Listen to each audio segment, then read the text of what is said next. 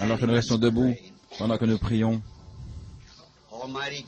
Dieu Tout-Puissant, auteur de la vie et donateur de tous les précieux dons spirituels, nous sommes vraiment reconnaissants maintenant pour ces moments merveilleux, extraordinaires, temps de communion dans ta présence. C'est un grand point culminant dans notre vie, Seigneur. Un temps que nous n'oublierons jamais, quel que soit le temps que nous passerons encore ici-bas. Et nous te prions, ô Dieu, qu'en cette soirée de clôture,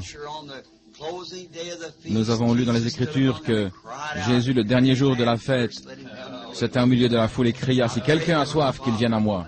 Et je te prie, Père céleste, que cela se répète encore ce soir, que nous puissions entendre la voix de notre Seigneur, nous appeler, nous appeler à son service pour lui, une marche plus étroite. Nous avons déjà entendu sa voix, l'ouverture de ces sceaux, nous disant que nous étions au dernier jour et que le temps est proche. Accorde ces bénédictions que nous demandons, Père, dans le nom de Jésus-Christ et pour sa gloire. Amen. Vous pouvez vous asseoir.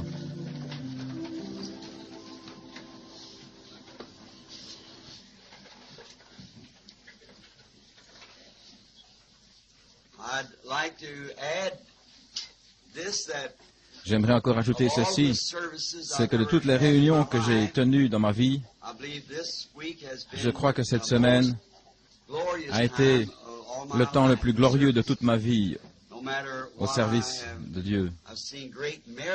J'ai vu de grands miracles s'accomplir dans des services de guérison, mais ceci va au-delà de cela. Un des points culminants de ma vie d'être ici et de voir le petit tabernacle prendre un autre aspect. Non seulement ça, mais l'intérieur aussi a pris un aspect différent.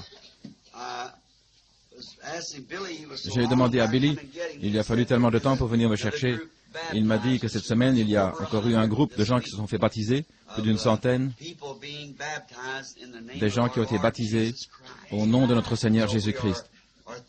C'est pourquoi nous sommes reconnaissants. Que Dieu vous bénisse. Maintenant, si vous n'avez pas d'église à la maison chez vous, nous invitons à venir et avoir communion avec nous. Rappelez-vous que l'église est ouverte, nous ne sommes pas une dénomination. J'espère et j'ai confiance qu'elle ne le sera jamais, une dénomination. Simplement une communion où des hommes et des femmes, des garçons et des filles se rencontrent autour de la table de, de Dieu et avoir communion autour de la parole et avoir euh, toutes choses en commun. Nous avons un merveilleux pasteur, un réel homme de Dieu, et j'en suis tellement reconnaissant. Et rappelez-vous cette vision que j'ai eue l'année dernière, où je vis toutes ces nourritures emmagasinées à cet endroit. C'est exactement vrai. Et maintenant, nous avons la place adéquate pour les classes d'école du dimanche, pour euh, tous les âges. Nous sommes simplement très reconnaissants pour cette opportunité. Quelques-uns ont dit une fois qu'il ne serait pas possible d'avoir ces classes d'école du dimanche où ils pourraient envoyer leurs enfants. Et maintenant nous en avons. Alors, venez simplement chez vous si vous n'avez pas d'église chez vous, bien sûr, si vous avez une bonne église où vous allez et qui prêche l'évangile. Alors, c'est simplement un autre groupe comme le nôtre, quelque part ailleurs. Mais si vous n'en avez pas chez vous, et je sais que plusieurs d'entre vous ont déménagé de différentes parties du pays pour que cette église soit leur église de, leur foyer. Et nous vous accueillons ici pour écouter la parole du Seigneur. Je crois que quand je suis parti, je vous ai dit qu'en ce qui concerne les réunions, elles auraient lieu ici au tabernacle. Je ne sais pas encore ce que le Seigneur en réserve pour moi dans le futur. J'ai confiance d'être dans sa main, pas une superstition ou l'autre, mais j'attends simplement jour après jour, après jour qu'il me conduise à l'endroit où je puisse être un meilleur serviteur pour lui. Et quand il aura terminé avec moi, je crois qu'il me recevra en paix dans sa maison. Je suis très reconnaissant pour la coopération des gens du tabernacle. Comme Billy me l'a dit cette semaine, je pense que chaque famille représentée ici dans le tabernacle a accueilli quelqu'un. Ils ont ouvert leur maison, ceux qui n'avaient pas d'endroit où se loger, c'est vraiment agir en chrétien. Et certains, la maison était vraiment bourrée jusqu'au dernier petit coin afin de loger les gens. Nous sommes dans une période difficile parce qu'il y a une grande manifestation sportive qui se passe au niveau du sport, euh, du basketball ou quelque chose, et tout a été réservé, plus euh, cette petite église sont représentés ici 28 ou 30 États, plus, plus encore deux pays étrangers.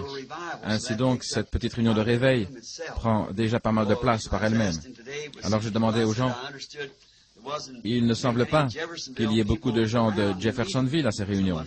Et quelqu'un m'a dit, nous ne pouvons pas entrer. Voilà la raison. Quelques personnes de la police et autres auraient voulu venir aux réunions, mais ils ne pouvaient pas entrer. Tout était déjà plein avant qu'elles ne puissent entrer. Elles pourront peut-être venir à une autre occasion. C'est pourquoi elles ne sont pas venues et qu'il y a, tout ce monde venant d'ailleurs. Nous sommes très reconnaissants. Maintenant, je ne sais pas la chose qui va suivre ce sera les sept trompettes. Mais dans les sceaux, il y a pratiquement tout qui est inclus. Les âges de l'Église sont venus, nous avons placé en premier, car c'était le message le plus important pour ce temps-là. Maintenant, l'ouverture des sceaux montre où va l'Église et comment elle finit. Je pense que notre Père céleste a été plein de grâce envers nous en nous faisant voir ce que nous avons vu. Et je dis ceci en regardant d'anciennes notes sur lesquelles j'ai prêché il y a de nombreuses années.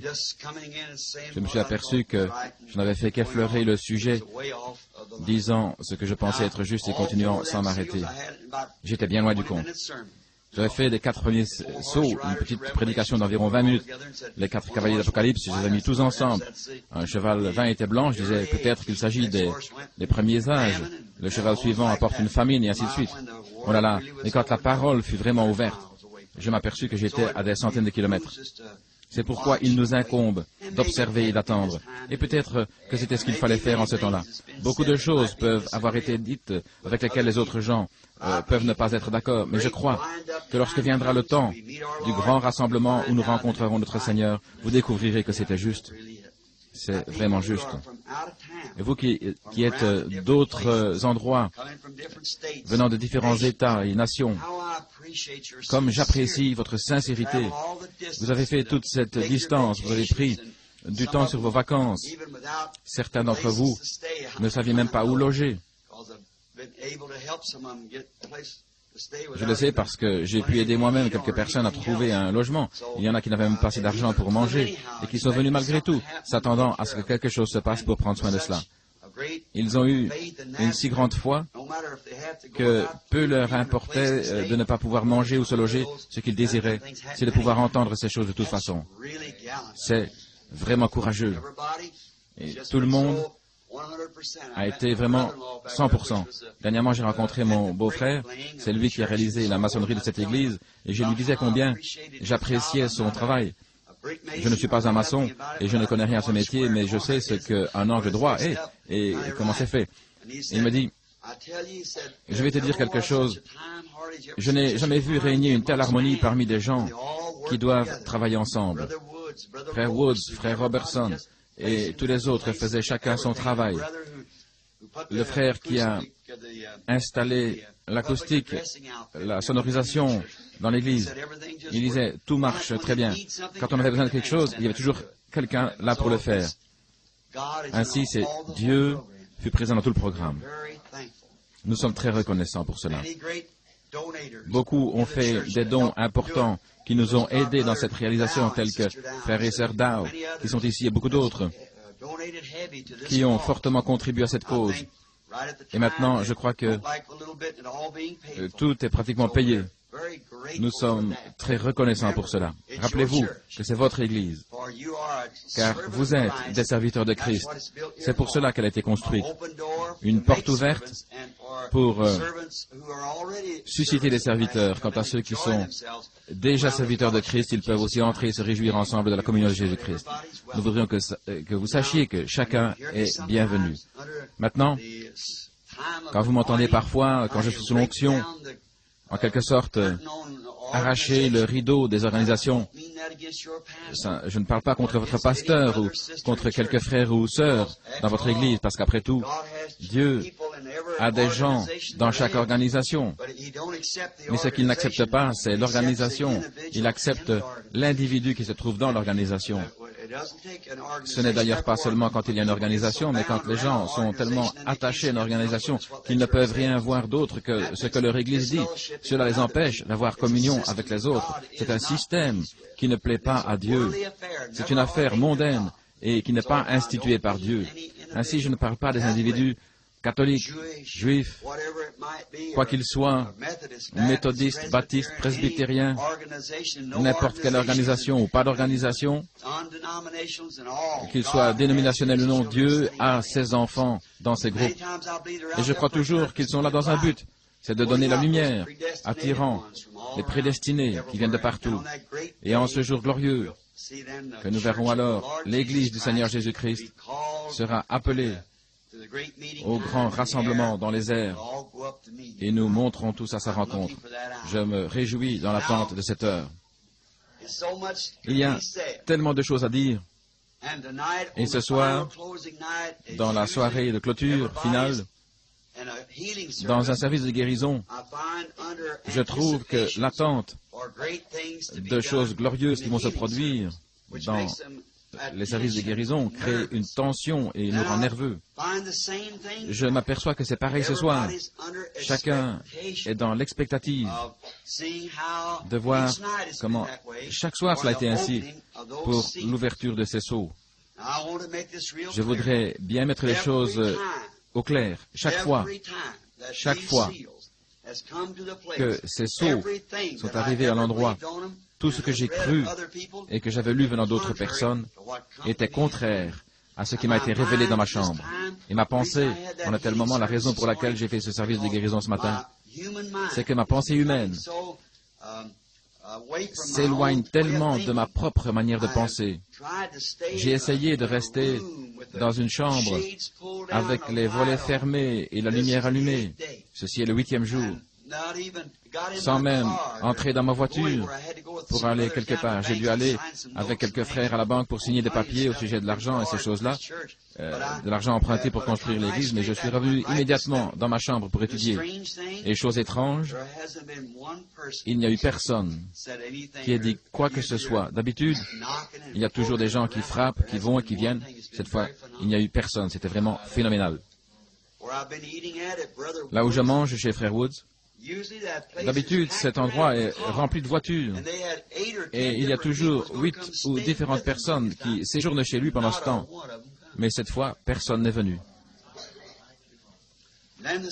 Alors ce matin, je n'oublierai jamais ce matin la grâce de notre Sauveur envers son serviteur épuisé et fatigué. En répondant à la question d'une pauvre personne au mieux de ma pensée, pensant que je l'avais fait correctement, tout à coup, ce fut comme si je venais de voler quelque chose à un enfant. Je sentais une telle condamnation et je ne comprenais pas pourquoi je pensais. Peut-être que quelqu'un est dans un état désespéré que je devrais prier pour lui immédiatement. Et je posais la question à l'auditoire. Et cela me fut révélé. À ce moment-là, j'ai pris une feuille de papier et j'ai lu la question pour voir ce qui était écrit. J'ai consulté le livre et je m'aperçus que je ne répondais pas du tout à la question. Puis-je vous communiquer quelque chose? Lorsque le surnaturel entre, c'est la pensée de Christ.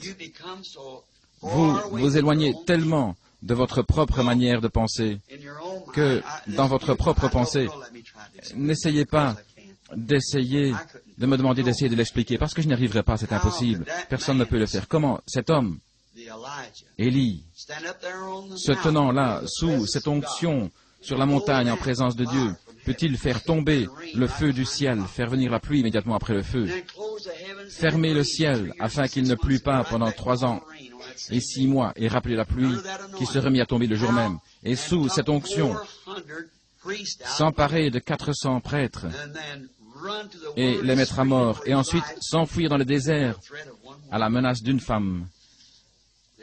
Voyez, Jézabel, qui avait juré de lui ôter la vie. C'est alors qu'Akab et tous les autres purent voir la présence de Dieu et l'accomplissement d'un grand miracle. Vous voyez, l'esprit l'avait quitté. Dans sa manière naturelle de penser, il ne savait que penser. Il ne pouvait pas penser par lui-même. Mais rappelez-vous qu'après avoir dormi et s'être reposé, L'ange le réveilla et lui donna quelques gâteaux à manger et le laissa tomber dans le sommeil encore une fois pour qu'il se repose. Ensuite, l'ange le réveilla de nouveau, lui donna encore quelques gâteaux. Nous ne savons pas ce qui est arrivé pendant ces quarante jours. Il avait été placé quelque part dans une caverne où Dieu l'avait appelé. N'essayez pas d'expliquer le surnaturel, vous ne le pouvez pas. La seule chose à faire est d'aller simplement de l'avant. Et j'essaie de m'expliquer et d'être aussi clair que possible. Mais je pense qu'à partir de maintenant, je pense que je n'essaierai plus. Vous croyez totalement ou pas du tout. Et vous verrez pourquoi un peu plus tard. J'ai essayé d'être honnête, Dieu le sait, au sujet de la question ce matin. J'ai essayé d'y répondre aussi honnêtement que possible. Je n'avais lu que la première partie du verset et cela n'aurait pas été juste. Mais le Saint-Esprit comprenant que ma pensée, voyez ce qui s'est passé ces deux ou trois derniers jours. J'avais dit 700 au lieu de 7000 ce matin-là. Mais les gens l'ont remarqué, ce qui montre que vous étiez attentif. Une autre fois, je voulais dire la colombe, et je l'ai appelé l'agneau, mais je me suis repris immédiatement. Quant à cette autre question, où je ne me suis pas rendu compte de mon erreur, tout de suite le Saint-Esprit m'y a ramené immédiatement. C'est une double confirmation que ces choses sont véritables. Dieu veille à ce que ce soit juste. C'est vrai. Il veut que vous sachiez que c'est la vérité. Il est celui qui envoie ces choses, car elles sont un enseignement aussi bien pour moi que pour vous. Ainsi, je suis très reconnaissant pour cette connaissance que j'ai maintenant et qui me vient du Seigneur, laquelle me montre dans quel temps nous vivons. Nous vivons au temps de la fin, avant le départ de l'Église. Maintenant que nous avons parlé, demandons encore une fois sa bénédiction sur la parole. Notre Père céleste, nous voici au début de cette glorieuse soirée, de cette heure glorieuse, où quelque chose de glorieux s'est produit. Cela a été partout au milieu des gens.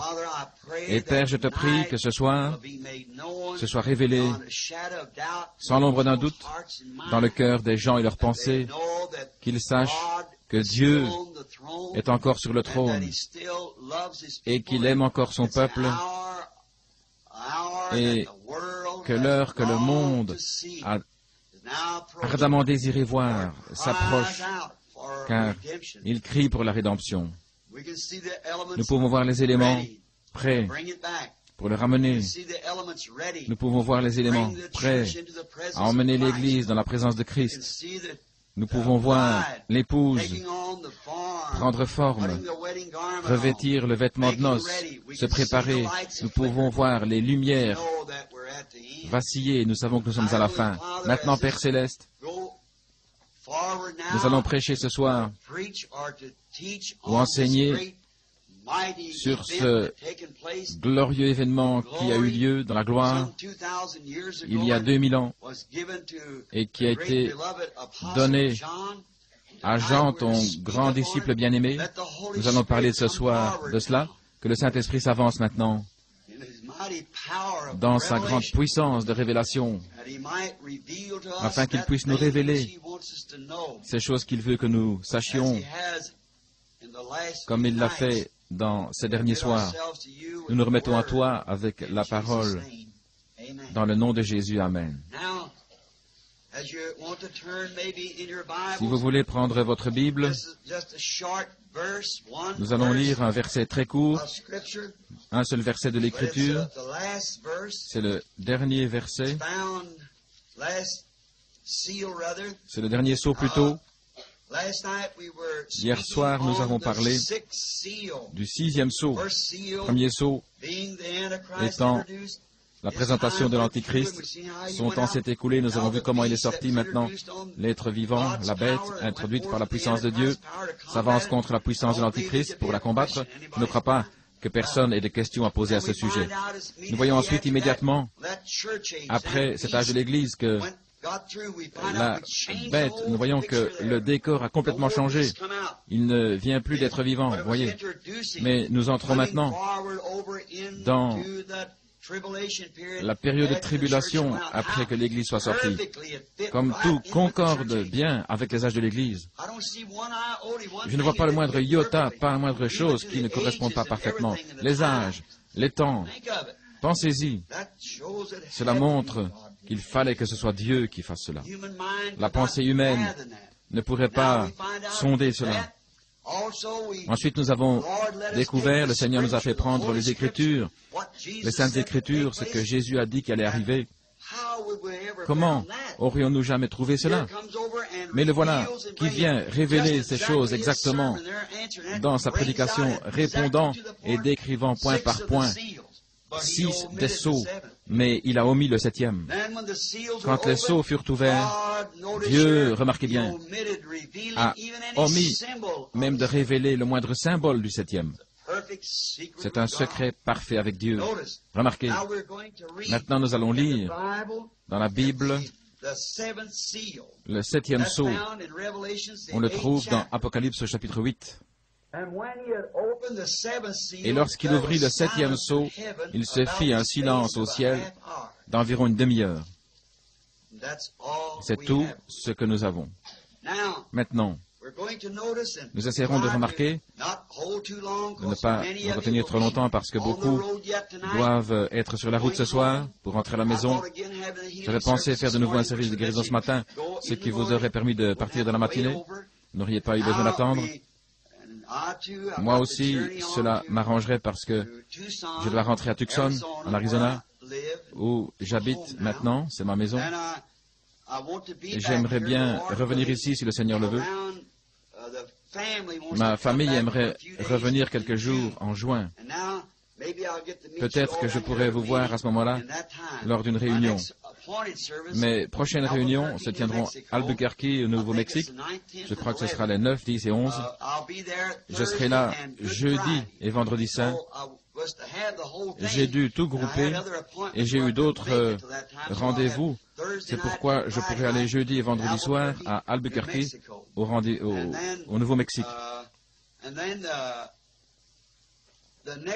Ensuite, la prochaine rencontre, potentiellement, nous ne sommes pas sûrs, c'est avec mes bons amis du groupe L'Appel de minuit, là-bas à Southern Pines, en Caroline du Nord.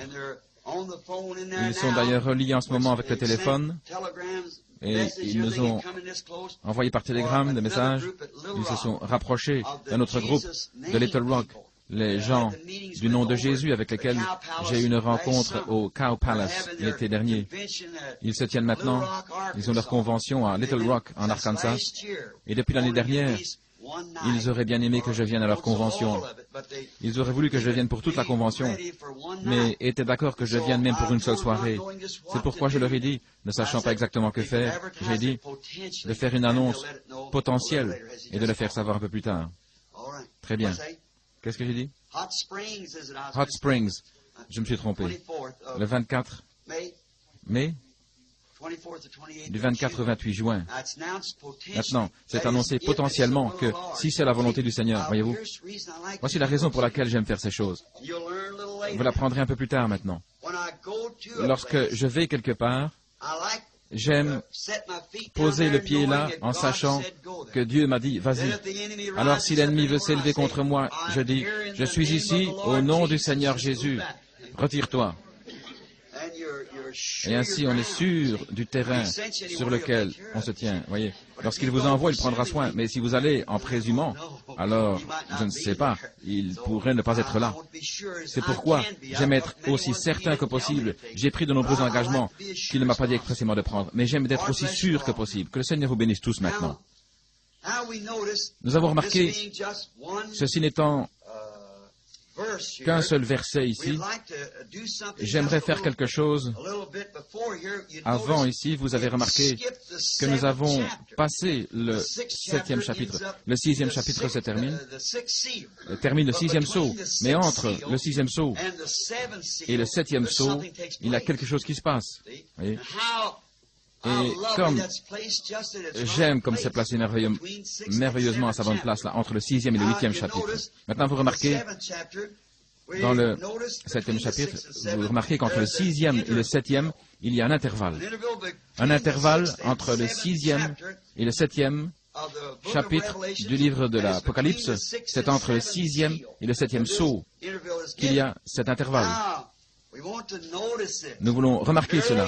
C'est très important que nous remarquions ce petit temps-là. Maintenant, souvenez-vous, après le quatrième chapitre de l'Apocalypse, l'Église est partie.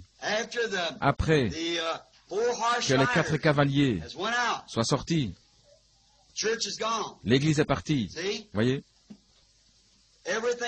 Tout ce qui est arrivé à l'Église se termine au premier verset du quatrième chapitre de l'Apocalypse. Tout ce qui est arrivé dans les mouvements de l'Antéchrist va jusqu'au quatrième chapitre. et le quatrième sceau de la révélation, aussi bien pour l'Antéchrist que pour Christ, se termine là. L'Antéchrist vient à sa damnation avec son armée et Christ vient avec la sienne.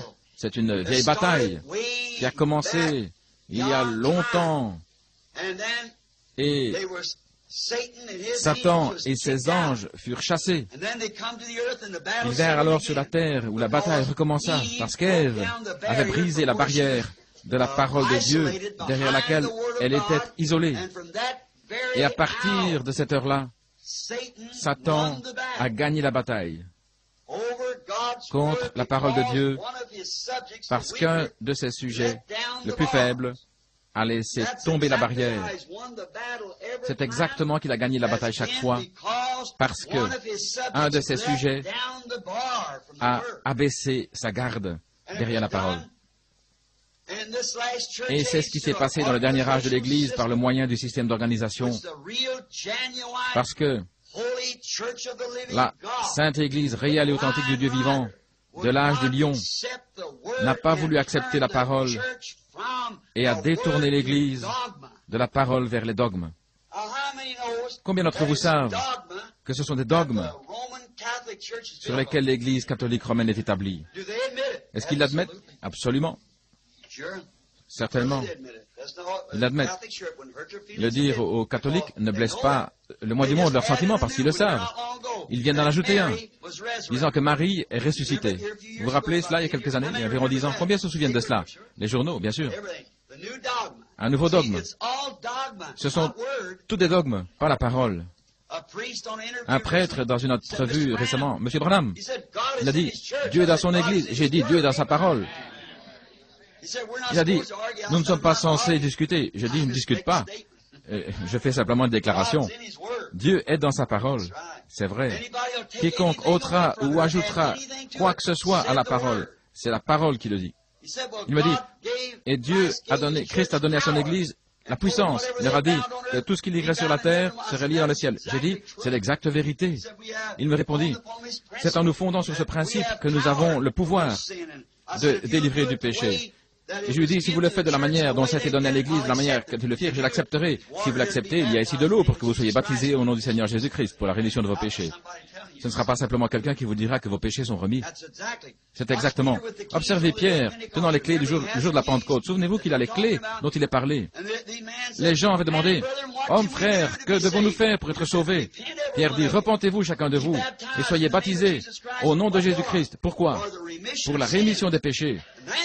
Et alors, vous recevrez le don du Saint-Esprit, car la promesse est pour vous et vos enfants, tous ceux qui sont au loin, en aussi grand nombre que le Seigneur notre Dieu les appellera.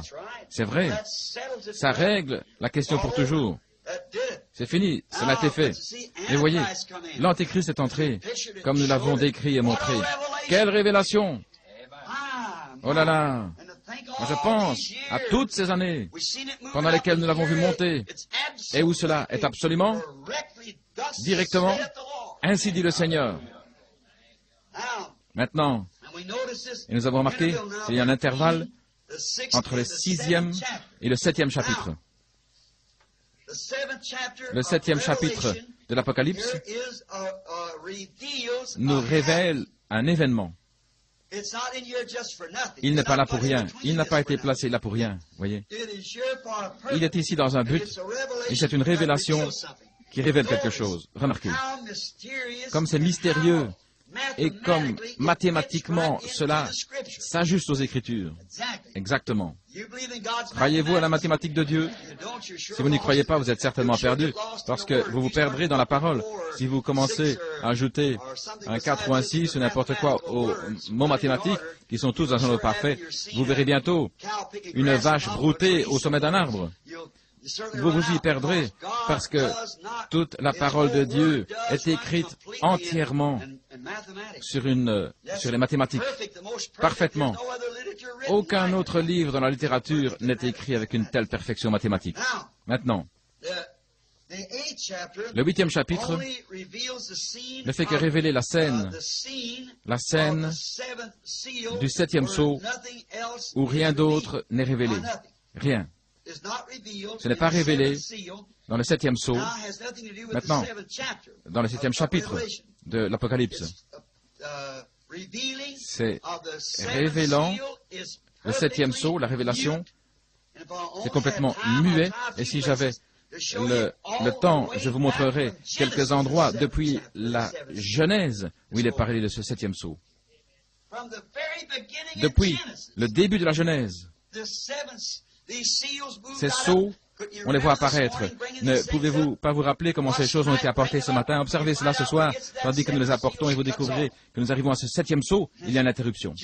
Jésus-Christ lui-même, parlant des temps de la fin, décrivit les six premiers sauts, mais quand il arriva au septième, il s'arrêta. Vous y voilà. C'est une chose glorieuse.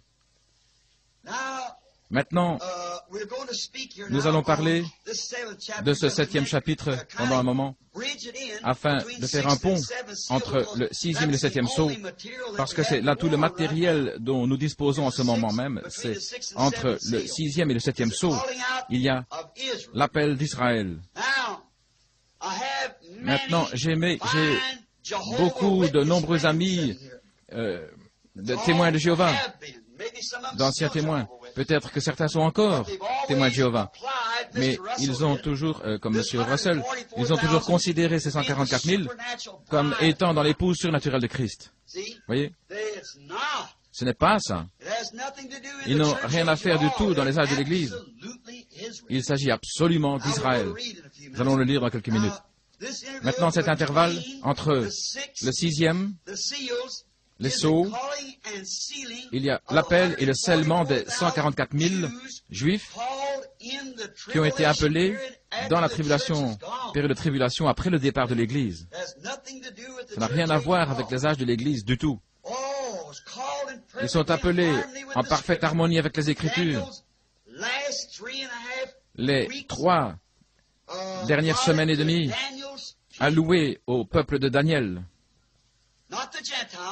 Pas les nations, mais le peuple de Daniel. Et Daniel était juif. Maintenant, remarquez, Israël ne croit que ses prophètes. Et seulement après qu'ils aient été confirmés, jamais dans les âges de l'Église, même si l'on remonte à la première Église apostolique, L'Église protestante n'a jamais eu de prophète. Sinon, montrez-le-moi. Jamais. Il y en eut un dans le premier âge apostolique, un nommé Agabus, qui était un prophète confirmé. Mais quand les nations sont entrées dans l'héritage de Dieu, quand Paul se tourna vers les nations, après que Pierre, comme nous l'avons lu hier soir, a reçu du Seigneur l'ordre de susciter parmi les nations un peuple qui porte à son nom son épouse, on ne voit jamais dans les pages de l'histoire un prophète des nations. Vous pouvez essayer de chercher dans l'histoire. Pourquoi? Exactement, ce serait contraire à la parole. Exactement. Quand le premier être vivant s'est avancé, c'était un lion, c'était un prophète de la parole. Ensuite, c'était le sacrifice. Ensuite, l'intelligence, la ruse de l'homme. Mais il nous a été promis, dans les derniers jours, de revenir à l'Église à nouveau pour le bénéfice de redresser tout ce qui avait été laissé inachevé, car il a prédit ici que le message du septième ange terminerait les mystères de Dieu. Et nous avons parcouru tout cela, nous avons vu que c'était en harmonie parfaite avec les Écritures. C'est la raison. Pouvez-vous imaginer ce qui se passera quand cet homme entrera en scène? Quand il viendra, souvenez-vous, ce sera si humble que les églises le manqueront complètement. Pourriez-vous imaginer que les églises qui sont encore sous la tradition des réformateurs recevront jamais un prophète de Dieu qui s'opposerait fermement à leurs enseignements et organisations? Il n'y a qu'une seule personne qui pourrait accomplir cela. Je ne connais qu'un seul esprit qui a déjà été sur la terre. Il faudrait que ce soit Élie, comme il était de son temps. Et il nous a été prédit que ce serait ce qui n'est rien d'autre que l'Esprit de Christ. Quand Christ est venu, il était la plénitude, il était un prophète. Il était le Dieu des prophètes. Voyez? Christ. Regardez comment ils l'ont haï. Mais il est venu exactement de la manière que la parole a dit qu'il viendrait. Mais étant donné qu'il était prophète, ces hommes s'exclurent eux-mêmes du royaume de Dieu en appelant l'Esprit de Dieu, qui faisait le discernement, etc., un esprit impur. Il disait qu'il était un diseur de bonne aventure ou un démon. En effet, un devin est un démon, oui. Un esprit de démon, certainement. Saviez-vous cela? Absolument. La divination est une imitation de la prophétie, ce qui absolument est un blasphème devant Dieu. Maintenant, remarquez,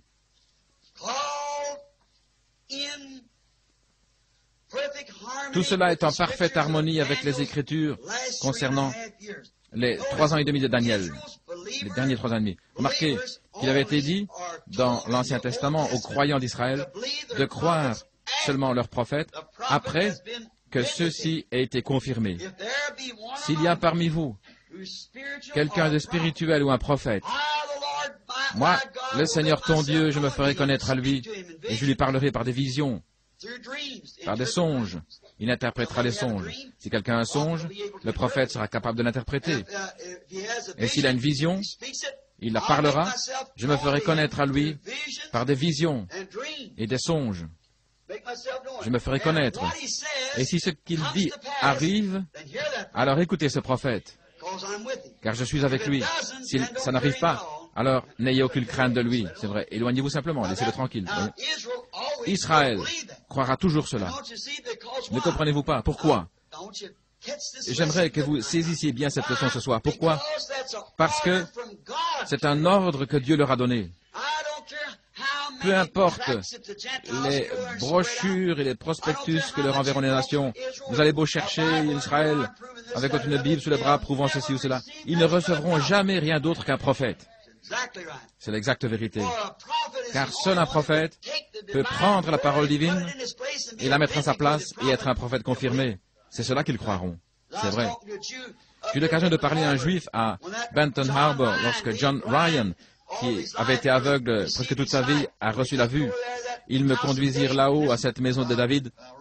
Un rabbin à longue barbe sortit à ma rencontre et me dit, par quelle autorité avez-vous rendu la vue à John Ryan? J'ai dit, au nom de Jésus-Christ, le Fils de Dieu. Il m'a répondu, loin de moi la pensée que Dieu est un Fils. Il dit, vous autres ne pourrez jamais couper un Dieu en trois morceaux et le faire accepter un juif, faire trois dieux de lui. Vous n'êtes qu'une bande de païens. Je lui dis, je ne coupe pas Dieu en trois morceaux. J'ai dit, rabbin, cela ne vous semblerait-il pas étrange de croire qu'un de vos prophètes ait dit quelque chose de faux? Il dit, nos prophètes ne disent rien de faux. Je lui ai dit, de qui Ésaïe 9.6 parle-t-il? Il a dit, du Messie. J'ai dit donc, le Messie sera un homme prophète, n'est-ce pas juste? Il a dit, oui monsieur, c'est vrai. J'ai dit alors, montrez-moi où Jésus a failli à cela. J'ai dit, quelle relation y aura-t-il entre le prophète Messie Et Dieu, il a dit, il sera Dieu. Je dis, c'est vrai. Ainsi vous voyez que c'est écrit dans sa parole. Que Dieu m'aide. Le juif était là et les larmes coulaient le long de ses joues. J'ai dit, je viendrai vous écouter plus tard. J'ai dit, rabbin, vous croyez cela? Il m'a dit, regardez. Il a dit, Dieu est capable de ces pierres de susciter les enfants à Abraham. Je savais qu'il était dans le Nouveau Testament. J'ai dit, c'est juste, rabbin, maintenant, qu'allez-vous faire? Il a dit, si je prêche cela, je vais me retrouver là-bas en bas. Vous savez que leur synagogue se trouve au sommet de la colline, dans la rue, en train de mendier mon pain. Je dis, je préférerais devoir aller dans la rue mendier mon pain ce juif était encore attaché à l'argent, vous comprenez Son nom écrit en lettres d'or. J'aimerais mieux être là-bas, à manger des biscuits secs et à boire de l'eau du robinet, sachant que je suis en harmonie avec Dieu et approuvé, que d'être ici, avec mon nom écrit en lettres d'or sur cette maison, en sachant très bien que je suis loin de Dieu. Il ne voulait plus m'écouter. Il est rentré, voilà tout. Vous ne pouvez pas couper Dieu en deux ou trois morceaux appelés Père, Fils et Saint-Esprit et faire de cela trois dieux et donner ça à un juif. Son commandement même est, tu n'auras pas d'autre Dieu devant ma face. Je suis le Seigneur ton Dieu. Qu'est-ce que Jésus a dit? Jésus a dit, écoute, ô Israël, je suis le Seigneur ton Dieu, un Dieu. Pas trois, vous ne pourrez jamais donner cela. Non, aucun prophète ne parlera jamais de trois dieux. Vous n'entendrez jamais cela. Non, non, monsieur. C'est du paganisme. Cela vient du paganisme, c'est certain. Remarquez, ces prophètes viendront. Pas seulement ça. Les prophètes, maintenant, c'est Apocalypse 11. Nous avons lu quelque chose à ce sujet et j'aimerais que vous le lisiez tandis que vous l'étudiez en écoutant les bandes. Ce sont absolument des prophètes confirmés par les signes des prophètes. Alors Israël l'écoutera. Maintenant, à vous, chers amis témoins de Jéhovah, comprenez bien que ces 144 000 n'ont aucun rapport avec l'épouse. Il n'y a aucun passage des Écritures pour soutenir cela. Non, monsieur, ils ne le sont pas. Ce sont des Juifs. Les élus qui sont appelés à sortir pendant les trois ans et demi des 70 semaines de Daniel. Vous savez, je reviens toujours là-dessus. Ce n'est pas tant pour vous qui êtes ici, mais vous savez, ces bandes vont partout. Vous comprenez cela. Si vous m'entendez toujours parler de cela, c'est pour cette raison. Remarquez. Comprenez maintenant pourquoi Dieu dut aveugler les Juifs, Jésus ou Dieu, pour les empêcher de reconnaître Jésus. S'ils savaient, si seulement ils savaient voyant les signes qu'il a accomplis, s'ils avaient été dans une période semblable à celle où ils étaient, sous la loi, quand Dieu leur donna le commandement au sujet des prophètes, voyant Jésus faire ces choses, ils auraient dit, c'est le Messie. Pourquoi était-ce le Messie? Dans cet temps-là, ceux dont le nom était inscrit dans le livre de vie de l'agneau, ses apôtres et d'autres encore, virent cela et le reconnurent. Pourquoi pas les autres? Voyez? Ils avaient été aveuglés. Ils ne pouvaient pas le voir. Ils ne le voient pas encore, toujours pas, et ils ne le verront pas, tant qu'Israël soit né comme une nation en une seule fois. La parole ne peut pas faillir. Rappelez-vous que la parole ne peut pas faillir. Peu importe combien de sensations vous avez, ce qui se passe. Cependant, cette parole ne peut pas faillir. Ce sera exactement de la manière que Dieu l'a dit. Nous réalisons que ces choses doivent arriver. Et c'est la raison pour laquelle ils ne reconnurent pas Jésus alors même qu'il était identifié parfaitement comme étant le prophète. Il était même pour la femme samaritaine là près du puits. Il n'avait jamais été en Samarie. Il s'est levé simplement en disant qu'il devait aller dans cette direction. Il est allé là et cette femme était là. Et elle, dans son état, était dans une meilleure position pour recevoir l'évangile que tous les prêtres et gens religieux de ce jour. C'est ce qu'elle a fait. Maintenant, et malgré leur rejet, un des plus élevés parmi eux admit qu'il savait que Jésus était un docteur envoyé de Dieu. Je parlais il n'y a pas longtemps avec un des meilleurs médecins qu'il y ait dans les États du Sud. J'étais dans son bureau, un grand spécialiste de Louisville, un homme vraiment très bien. Et je lui dis, Docteur, je voudrais vous poser une question. Il dit très bien. J'ai dit, j'ai remarqué l'enseigne de votre profession, votre emblème. Un serpent enroulé autour d'un bâton. Que signifie-t-il? Il dit, je ne sais rien, je ne sais pas. Il dit, cela se tient pour ceci, c'est un symbole de la guérison divine. Quand Moïse éleva le serpent d'airain dans le désert, voyez, ce n'était alors rien qu'un symbole, un symbole du vrai Christ. Aujourd'hui, la médecine est un symbole de la guérison divine. Et bien que beaucoup ne le croient pas, les vraiment bons médecins le croient. L'emblème même qu'ils brandissent est un témoignage de la puissance du Dieu Tout-Puissant, qu'ils aient ou non envie de le croire. C'est vrai, sur l'emblème de la médecine, il y a un serpent d'airain suspendu à une perche. Considérez ces juifs. Les écailles de l'aveuglement étaient sur les yeux de ce peuple. Ils n'y pouvaient rien, c'était là. Et Dieu les avait mis là. Et elles seront là jusqu'à l'âge de la venue de ce prophète qui leur a été promis. Vous pourriez leur envoyer des missionnaires et faire tout ce que vous voulez. Israël ne sera jamais converti avant que ces prophètes entrent en scène, ce qui arrivera après l'enlèvement de l'Église des nations. Alors, le bœuf, l'âge de bœuf, ne peut pas recevoir l'appel adressé à un lion, car Dieu a dit dans sa parole que c'est un esprit de bœuf qui est sorti dans l'âge de la réforme. C'est un homme qui est sorti. Vous voyez? C'est tout ce qu'ils pouvaient recevoir. Et là maintenant, ils sont aveuglés. C'est tout ce qu'il y a. Remarquez bien que l'âge vient où s'en sera fait des nations. Il y avait un arbre dont les racines étaient juives, mais il fut retranché, et les nations furent greffées sur l'olivier sauvage, et il donne son fruit. Lorsque cette épouse des nations sera retranchée, cet arbre de l'épouse dont j'ai parlé, et sera conduite dans la présence de Dieu, Dieu va balayer ces nations incrédules, mettra de côté les vierges folles et greffera de nouveau Israël. Il a promis de le faire. Mais en attendant ce moment-là, vous devez simplement savoir où vous allez. Si vous savez où vous allez, eh bien tant mieux. Si vous ne savez pas, vous êtes en train de trébucher dans les ténèbres. C'est alors que les Juifs seront convertis. Ce sera comme dans l'âge de l'Église, sous la puissance de la promesse ointe, ils recevront Christ, mais pas avant que les nations soient entrées.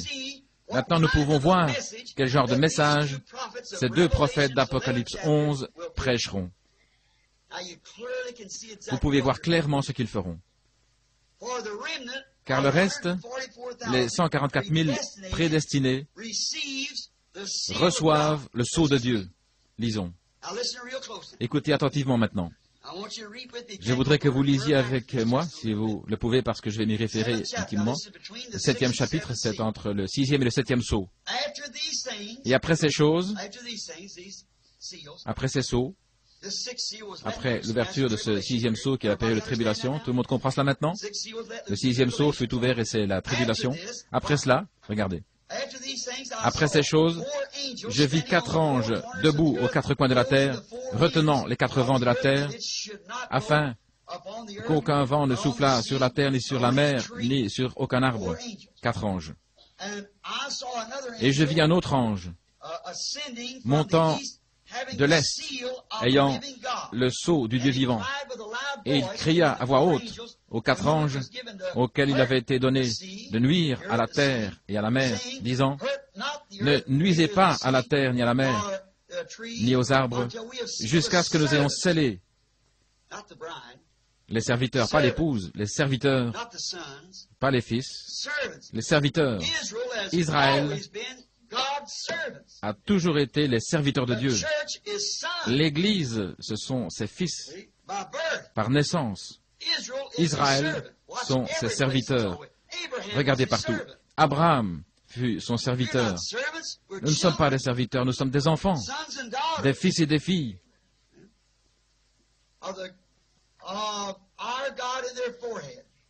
Au front. Et j'entendis le nombre de ceux qui furent scellés. Écoutez attentivement maintenant. 144 000 de toutes les tribus des enfants d'Israël. Il les a parfaitement nommés. S'il y a ici de ceux qui voient le British Israel, écoutez comment cela va être démenti. De la tribu de Judas furent scellés douze mille. Il appelle les tribus. De la tribu de Ruben furent scellés douze mille. De la tribu de Gad, douze mille. Observez les tribus maintenant. Et de la tribu d'Asser furent scellés douze mille. De la tribu de Nephtali furent scellés douze mille. De la tribu de Manassé, douze mille. De la tribu de Siméon, scellés douze mille. De la tribu de Lévi furent scellés douze mille. De la tribu d'Isaacar, douze mille. Je pense que vous prononcez Issachar. De la tribu de Zabulon, douze mille. Et de la tribu de Joseph furent scellés douze mille. De, la tribu de Benjamin furent scellés douze mille. Ça fait douze tribus. Et douze mille sont pris dans chaque tribu. Douze fois douze mille, ça fait combien? Cent quarante-quatre mille. Remarquez qu'ils étaient tous des tribus d'Israël. Après cela, voici que vient un autre groupe. Maintenant, l'épouse est partie. Nous savons cela. Mais observez ce groupe qui vient. Après ces choses, et voici une grande foule que personne ne pouvait dénombrer, de toutes nations, tribus, peuples et langues, se tenant devant le trône et devant l'agneau, vêtus de robes blanches, ayant des palmes dans les mains. Et ils crient à voix haute, disant, Le salut est à notre Dieu, qui est assis sur le trône et à l'agneau. Et toutes les nations étaient aux alentours autour du trône et autour des anciens et des quatre animaux, et ils tombèrent devant le trône sur leur face pour adorer Dieu, disant, Amen. La bénédiction, la gloire, la sagesse, l'action de grâce, l'honneur, la puissance, la force à notre Dieu, au siècle des siècles. Amen. Et l'un des anciens, il est ici devant ces anciens, comme nous l'avons vu tout au long des sauts, et l'un des anciens répondit, disant, qui sont ceux-ci? Maintenant, Jean avait reconnu son propre peuple, il est dit sous forme de tribu, n'est-ce pas? Il les reconnut et nomma chacune des tribus. Mais maintenant, quand il voit cette foule, il est embarrassé. Et les anciens le savent lui demandent, qui sont ceux-là? Qui sont revêtus de blanc Et d'où viennent-ils? Jean va répondre. Et je lui dis, Seigneur, tu le sais, Jean ne les connaissait pas. Voyez, il avait toute tribu, et peuple et langue. Il me dit, ce sont ceux. Il me dit, ce sont ceux qui viennent de la grande tribulation, la grande tribulation, et ont lavé leurs robes, les ont blanchis dans le sang de l'agneau. C'est pourquoi ils sont devant le trône de Dieu et le servent jour et nuit dans son temple. Et celui qui est assis sur le trône dressera sa tente sur eux. Ils n'auront plus faim, plus soif, et le soleil ne les frappera plus, ni aucune chaleur, parce que l'agneau qui est au milieu du trône les nourrira et les conduira aux fontaines des eaux de la vie et Dieu essuiera toutes larmes de leurs yeux. Maintenant, nous arrivons au saut. Avez-vous remarqué? Premièrement, nous commençons avec Israël, ensuite nous voyons l'Église purifiée par l'épouse, l'Église purifiée par la tribulation. Il vient ici ce grand nombre de cœurs sincères qui sont sortis de la grande tribulation. Ce n'est pas l'Église, l'épouse, c'est les gens enlevés, c'est l'Église. Nous découvrons un peu plus tard que Jésus a dit que le trône serait installé et qu'il passerait en jugement, chacun d'eux. Alors nous découvrons maintenant que ces gens avaient été scellés du sceau du Dieu vivant. N'est-ce pas vrai, ces Juifs? Quel est le sceau du Dieu vivant? Je ne dis pas cela pour blesser des sentiments, je le dis simplement, voyez-vous. Savez-vous que beaucoup d'érudits dont j'ai lu les écrits prétendent que ce groupe qui a été lavé dans le sang est réellement l'épouse? Saviez-vous que beaucoup de théologiens prétendent aussi que les 144 000 sont l'épouse Il faut qu'il y ait quelque chose qui corresponde exactement, car maintenant il y a quelque chose de faux. Remarquez, nos frères adventistes disent que le sceau de Dieu consiste à garder le jour du sabbat. Vous savez cela? Mais j'aimerais bien trouver une seule petite parcelle des Écritures montrant que l'observation du jour du sabbat est le sceau de Dieu. Voyez, c'est simplement quelqu'un qui a eu cette idée. Mais si vous lisez Éphésiens 4.30, il est dit, n'attristez pas le Saint-Esprit de Dieu, par lequel vous avez été scellés jusqu'au jour de votre rédemption. Lorsque l'œuvre du médiateur est achevée, Christ vient racheter les siens. Vous êtes scellés, non pas seulement jusqu'au prochain réveil. Lorsque vous avez été scellés du Saint-Esprit, c'est une œuvre achevée. Dieu vous a reçu et on ne peut pas sortir de là. Vous direz bien, je l'ai reçu et puis je me suis éloigné. Non, vous ne l'aviez pas. Dieu dit que cela continue jusqu'au jour de la rédemption. C'est vous qui discutez avec lui, mais il a dit jusqu'au jour de votre rédemption. Remarquez, comme il y avait. un reste selon l'élection, les Juifs maintenant, un reste selon l'élection, au jour du premier ministère d'Élie pour les Juifs, 7000 croyants furent mis à part par la main de Dieu. Maintenant, dans ce temps du reste, les 144 000 selon l'élection.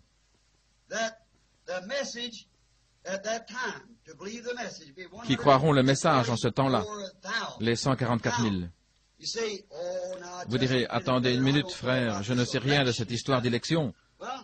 Eh bien, très bien, nous allons voir si c'est juste ou pas. Revenons à Matthieu et voyons si nous pouvons trouver un petit quelque chose à ce sujet. Je crois que c'est bien là. Je n'ai rien noté, mais cela m'est juste venu à l'esprit. Prenons à la fin du verset 30, nous l'avons vu l'autre soir, à la fin du sixième saut, au trentième verset. Lisons cela et voyons maintenant où cela nous mène. Le verset 31. Nous voyons le Fils de l'homme entrer dans la gloire. 30e verset. Il enverra ses anges avec la trompette retentissante et ils rassembleront ses élus, élus des quatre vents, depuis une extrémité des cieux jusqu'à l'autre. Les élus sortiront. Qu'est-ce que c'est Et il y a la période de tribulation. Dieu appellera ses élus, et ce sont les Juifs à ce moment-là. Les élus. La Bible en parle, Paul en parle. Selon l'élection, il y en aura 144 000, selon l'élection, qui croiront le message, parmi littéralement des millions qui seront là. Ils étaient des millions en Palestine au jour de la prophétie d'Élie, mais 7000 seulement furent sauvés parmi tous ces millions. Ainsi, selon l'élection, et malgré les millions de Juifs qui sont en train de se rassembler dans leur patrie, qui est devenue une nation, sur ces millions, seuls 144 000 élus seront pris. Ils entendront le message. C'est pareil avec l'Église des Nations. Il y a une épouse. Elle est élue et sera appelée selon l'élection. Remarquez, vous voyez comment tout cela forme un type parfait de l'Église, les croyants élus. Les autres ne croient pas. Vous pouvez simplement le, parler. Vous aurez beau dire la vérité à, à ces hommes et la démontrer par la parole, et ensuite la confirmer. Je ne crois pas à cela. Ne perdez plus de votre temps avec cela. Jésus a dit de ne pas le faire. Il a dit, c'est comme jeter des perles devant les pourceaux. Laissez-les tranquilles, sinon ils se retourneront contre vous et ils vous piétineront, ils se moqueront, se moqueront de vous. Éloignez-vous simplement d'eux et laissez-les tranquilles. Si un aveugle conduit un autre aveugle. Il n'y a pas longtemps, je suis allé chez quelqu'un, ou plutôt quelqu'un est venu vers moi en disant, je ne crois pas à la guérison divine. Je ne crois pas à votre guérison divine. J'ai dit, oh là là, mon frère, je pense que cela ne servira à rien parce que j'en ai aucune. Et j'ai dit, celle de Dieu est parfaite. Il dit, une telle chose n'existe pas. Je lui dis, mon cher, vous venez un peu tard pour dire cela. Vous avez attendu trop longtemps. Vous auriez pu discuter il y a quelques années. Mais maintenant, nous vivons dans un autre âge. Et il y a des millions de personnes qui peuvent en témoigner. Vous êtes venu trop tard pour dire cela. il me dit, eh bien, je ne crois pas, peu importe ce que vous faites. Certainement pas. Vous ne pouvez pas. Et il me dit, frappez-moi d'aveuglement. Si vous avez le Saint-Esprit comme Paul, frappez-moi d'aveuglement. Je dis, comment pourrais-je le faire alors que vous êtes déjà aveugle? Votre Père vous a aveuglé à la vérité. Vous êtes déjà aveugle. Et il me dit, je n'y croirai pas. Vous pourrez faire tout ce que vous voulez, apporter toutes les évidences. Je ne croirai toujours pas. Certainement, ce n'est pas pour les incrédules, ce n'est que pour les croyants. Qu'est-ce que c'était? On pouvait voir tout de suite que l'élection était hors de lui. Ne perdez pas votre temps. Jésus a fait pareillement. Il a dit, laissez-les tranquilles. Si un aveugle conduit un autre aveugle, ne tomberont-ils pas tous les deux dans la fosse? Mais lorsqu'il rencontra une pauvre prostituée, l'étincelle jaillit. Qu'est-ce qui s'est passé? Il y avait une semence élue. Vous voyez, il l'avait vu tout de suite. Il est venu vers Pierre, il y avait une semence élue. Il l'a vu. Et tous ceux que le Père m'a donnés au temps passé, tous ceux qu'ils m'ont donnés, ils viendront. Ils viendront à moi. Oh, j'aime cela. Oui, monsieur. Remarquez, le croyant, il y croit réellement, mais les incrédules ne peuvent pas y croire.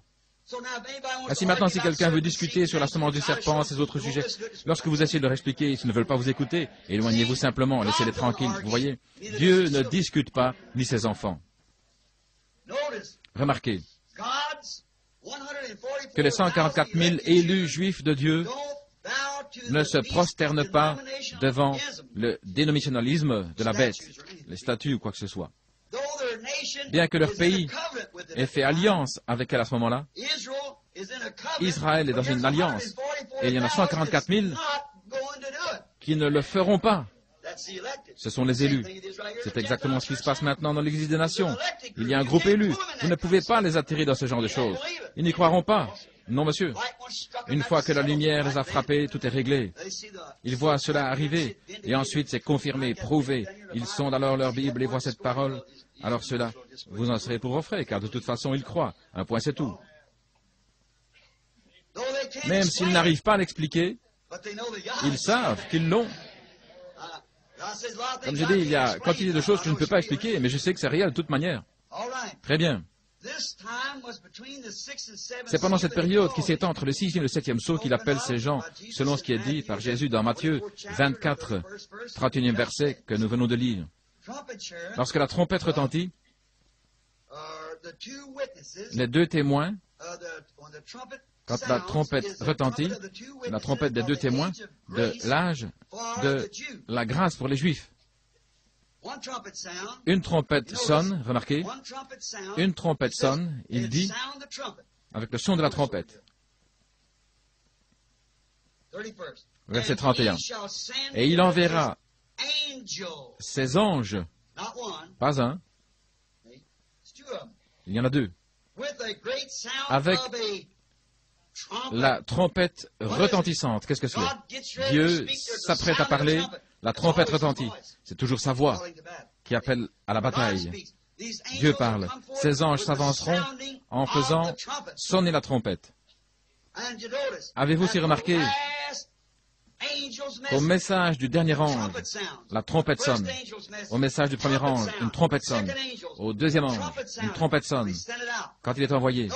Mais remarquez que quand les sceaux furent annoncés, ils étaient tous ensemble dans quelque chose de glorieux, de divin qui était destiné à appeler un groupe à sortir. Ils le sont d'une trompette et les sept sceaux furent brisés.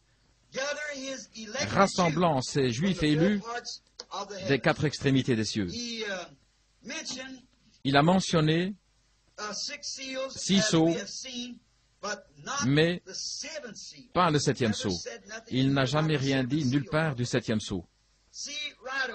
Directement, verset 32, il se tourne vers une parabole concernant le temps de l'appel des Juifs élus. Regardez ici.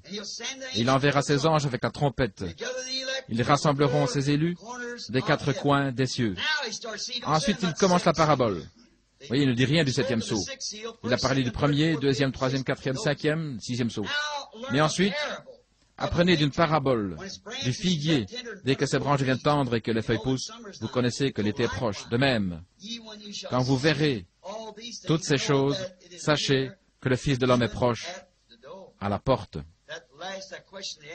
La question que lui avait posée, quel sera le signe de la fin du monde? Quand vous verrez ces Juifs, quand vous verrez ces autres choses arriver, vous saurez ce qui arrive. Lorsque vous verrez ces Juifs, il parle aux Juifs. Regardez. À quel groupe est-il en train de parler aux, nations? Aux Juifs. Aux Juifs. Voyez? Vous serez haïs de toutes les nations à cause de mon nom et ainsi de suite.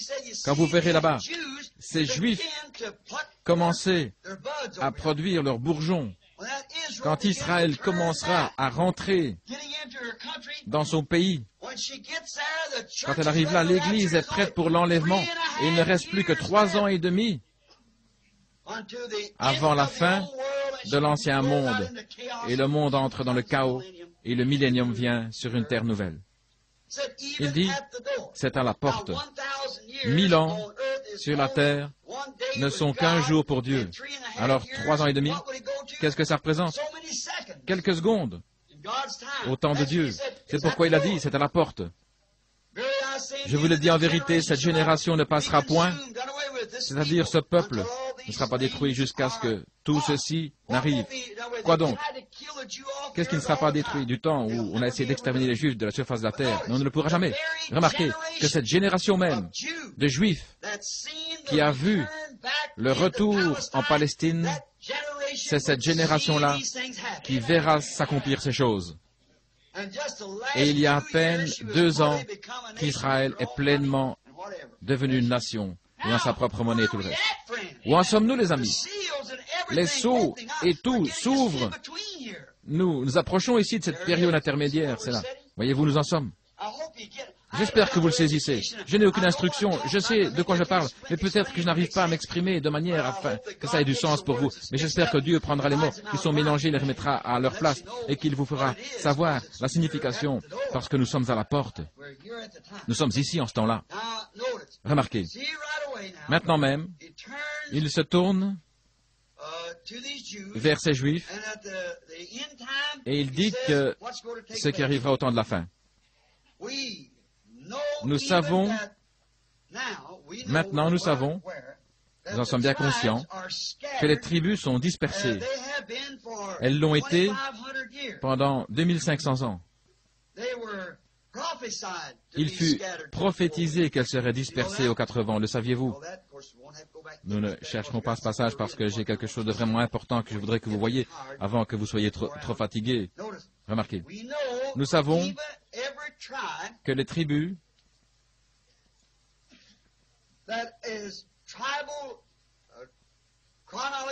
la chronologie tribale, ou comment vous voulez l'appeler, la généalogie ou l'ordre des tribus, ils sont dispersés. Partout, les Juifs. Leurs livres ont été détruits, si vous leur demandez euh, de quelle tribu êtes-vous? Il a été prophétisé qu'il en serait ainsi dans le monde entier. Leurs livres ont été détruits si... Si vous leur demandez de quelle tribu venez-vous, je ne sais pas, je ne sais pas.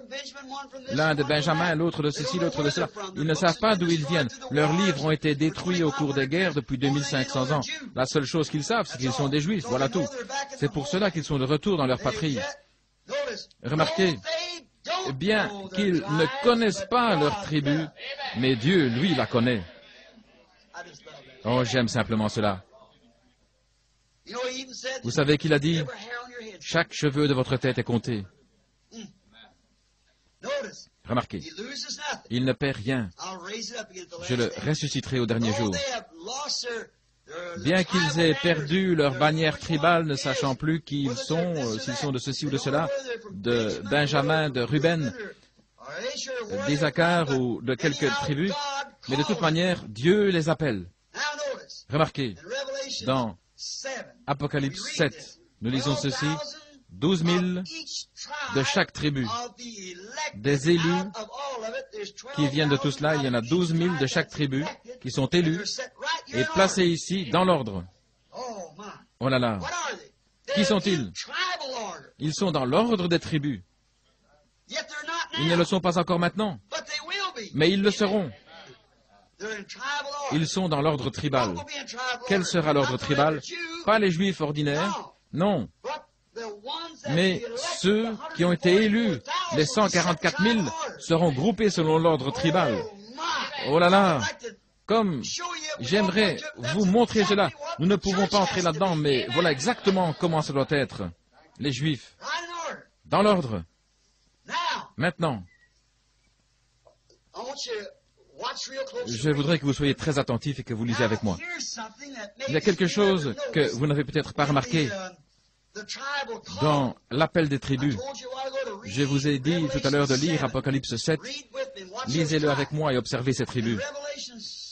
Dans Apocalypse 7, Dan et Ephraïm manquent, ne sont pas comptés avec les autres. L'avez-vous remarqué? Joseph et Lévi ont été substitués à leur place. L'avez-vous remarqué? Dan et Ephraïm ne sont pas là. Non, monsieur. Mais Joseph et Lévi ont été substitués à la place de Dan et Ephraïm. Pourquoi?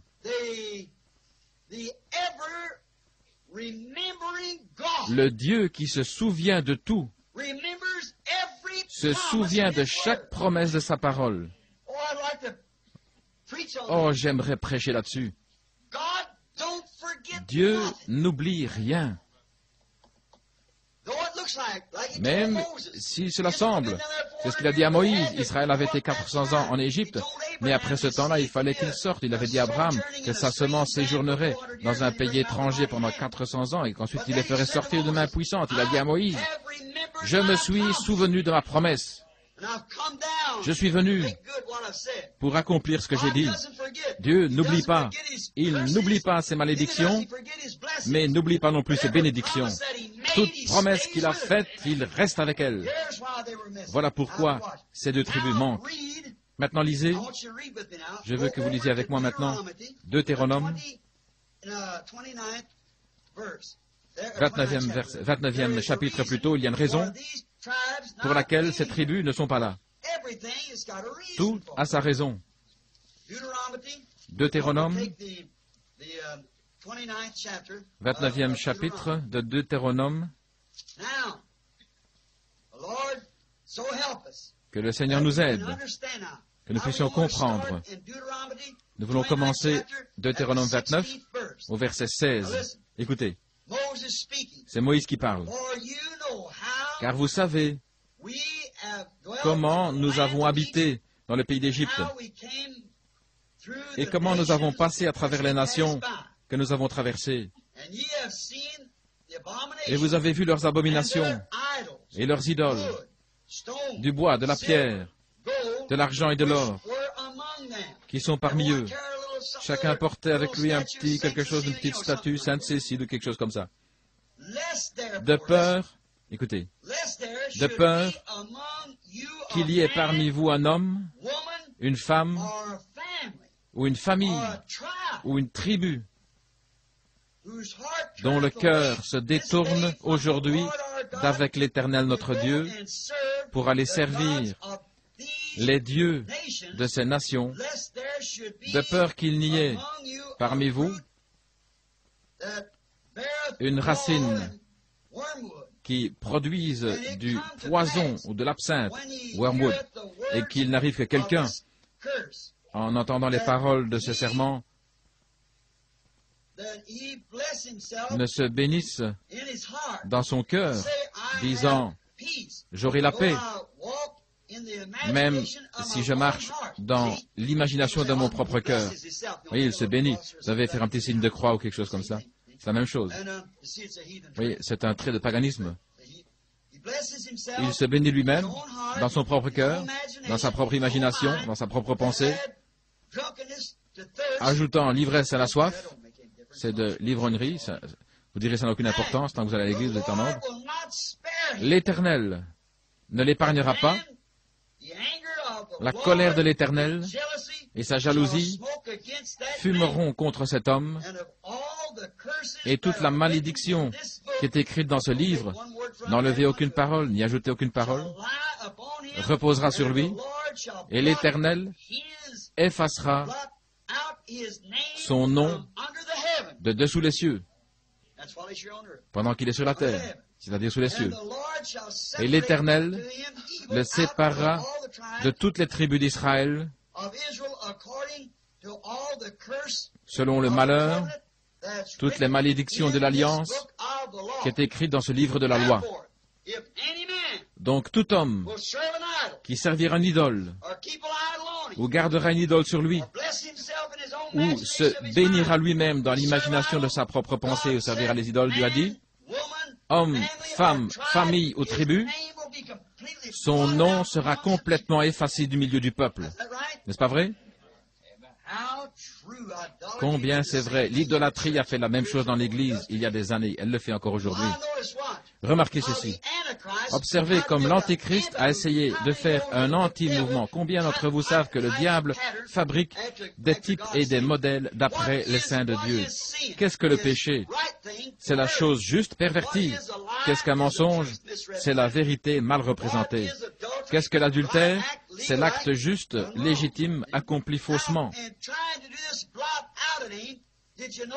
Vous remarquez que dans les âges de l'Église, cette même bête qui sert les images des morts et autres a essayé d'effacer le nom du Seigneur Jésus-Christ et donne les titres de Père, Fils et Saint-Esprit. La même chose. Cette euh, malédiction qui est derrière, c'est pareil. Dan et Ephraïm ont fait juste cela sous le règne hypocrite d'un roi en Israël, un imposteur, Jéroboam. Remarquez, dans un roi, douzième chapitre, ceci, pour moi, pose un fondement sur lequel nous allons dépendre. Douzième chapitre de un roi, du verset 25 à 30. Et Jéroboam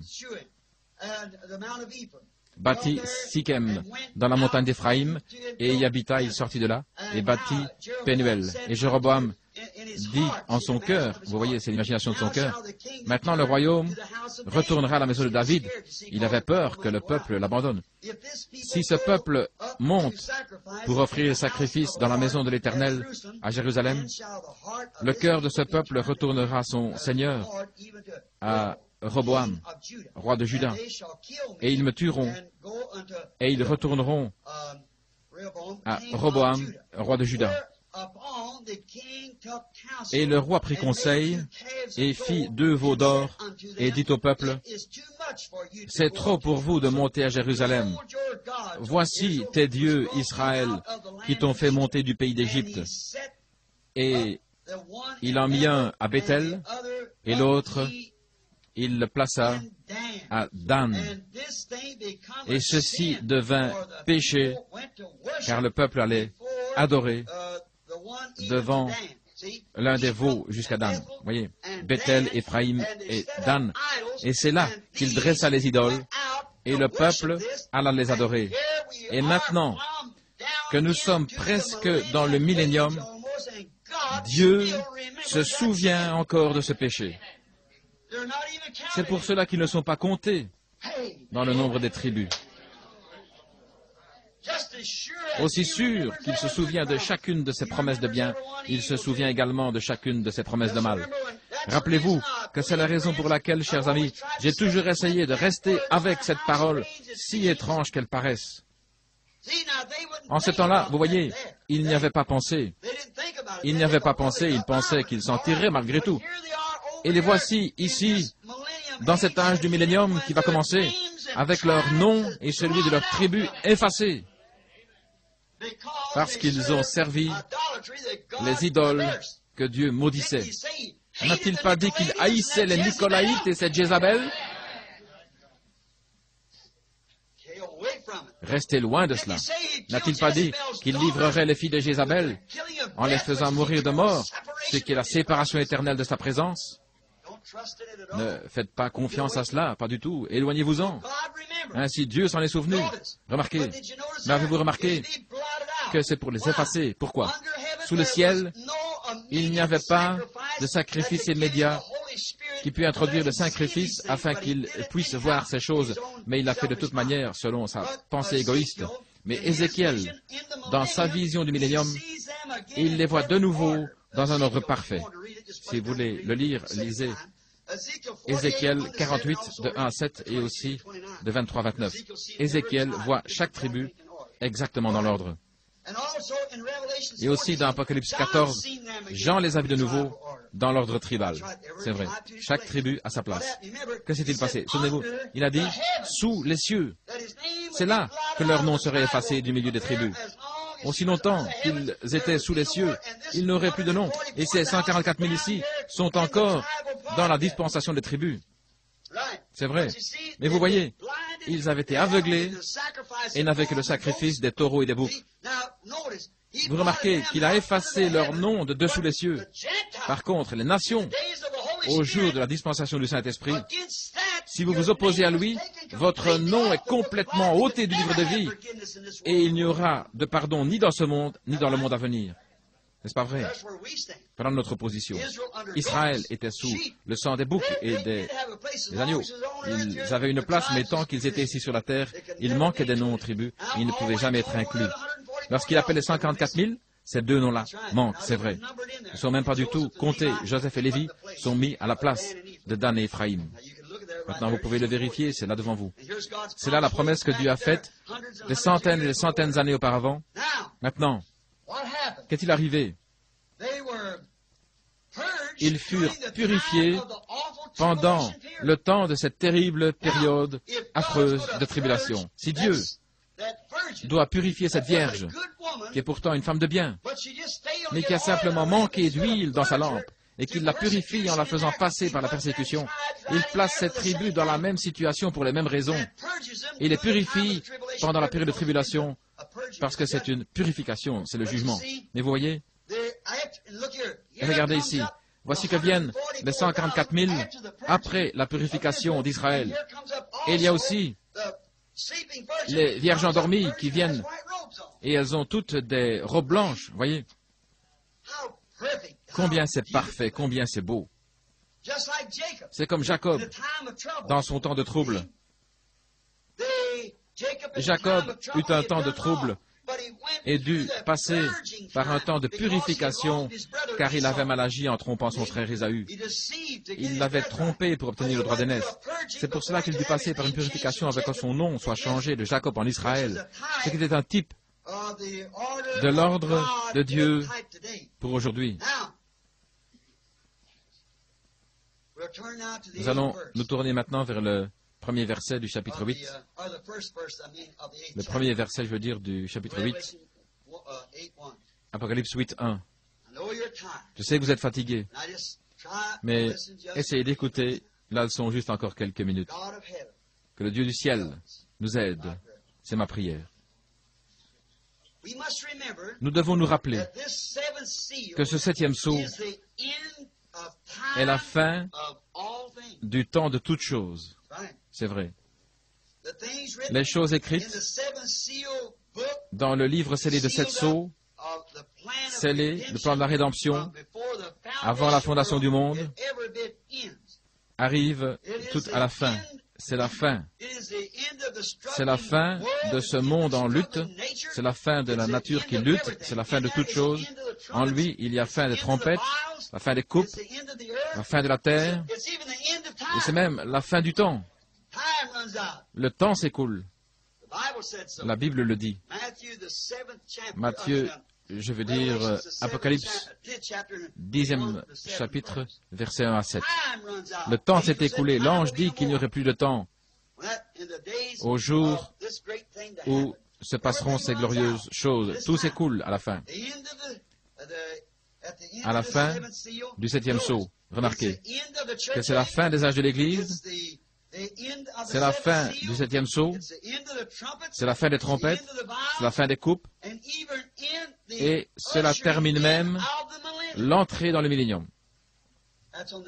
C'est dans le septième saut. C'est comme lorsqu'on lance une fusée dans l'air.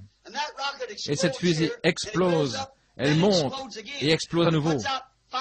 Cinq étoiles jaillissent, et une de ces étoiles explose, et cinq autres en sortent. Parmi eux, une explose et chasse cinq nouvelles étoiles. Voyez Et puis tout s'éteint. Voilà ce qu'est ce septième saut. Il termine le temps du monde. Il termine le temps de ceci. Il termine le temps de cela. Tout est terminé. Tout est terminé à ce septième saut. Comment va-t-il le faire? C'est ce que nous ne savons pas, n'est-ce pas? Nous ne savons pas. C'est le temps marqué pour toutes ces choses et pour l'introduction du millénium. Remarquez, le brisement de ce sceau est si glorieux que le ciel était dans le silence pendant l'espace d'une demi-heure. Maintenant, est-ce que c'est glorieux? Qu'est-ce que c'est? Le silence dans le ciel. Pas la moindre chose ne bougeait pendant une demi-heure. Maintenant, une demi-heure n'est pas longue si vous passez un bon moment. Mais quand cette attente, c'est un suspense entre la vie et la mort, ça semble comme un millénium. C'était si glorieux que Jésus n'en a rien mentionné, ni les autres. Jean ne pouvait rien écrire à ce sujet. Cela lui fut interdit d'écrire. C'était simplement le silence. Les 24 anciens qui se tenaient devant Dieu et jouaient de la harpe arrêtèrent de jouer la harpe. Les anges firent cesser leur chant dans le ciel. Pensez à ces saints chérubins séraphins qu'Ésaïe avait vus dans le temple avec leurs trois paires d'ailes, une paire leur couvrant la face, une paire sur les pieds, volant nuit et jour devant Dieu, disant Saint, Saint, Saint est le Seigneur Dieu Tout-Puissant. Et quand ils entraient dans le temple, les portes étaient ébranlées par leur présence. Et ces saints séraphins se sont tus. Les anges interrompirent leur chant. Ceux qui volaient en présence de Dieu en chantant Saint, Saint, Saint se sont tus. Aucun chant d'ange, pas de louange, pas de service à l'autel, rien du tout. C'était le silence. Tout s'était tu, un silence de mort dans le ciel pendant une demi-heure. Toute l'armée des cieux fit silence pendant cette demi-heure, quand le mystère de ce septième saut dans le livre de la rédemption fut ouvert. Pensez à cela. Mais il est brisé. L'agneau le brise. Vous savez quoi? Ils étaient remplis de crainte. Ils ne savaient pas. Voilà, ils se sont arrêtés tout simplement. Pourquoi? Qu'est-ce que c'est? Maintenant, aucun d'entre nous ne le sait. Mais je vais vous donner ma révélation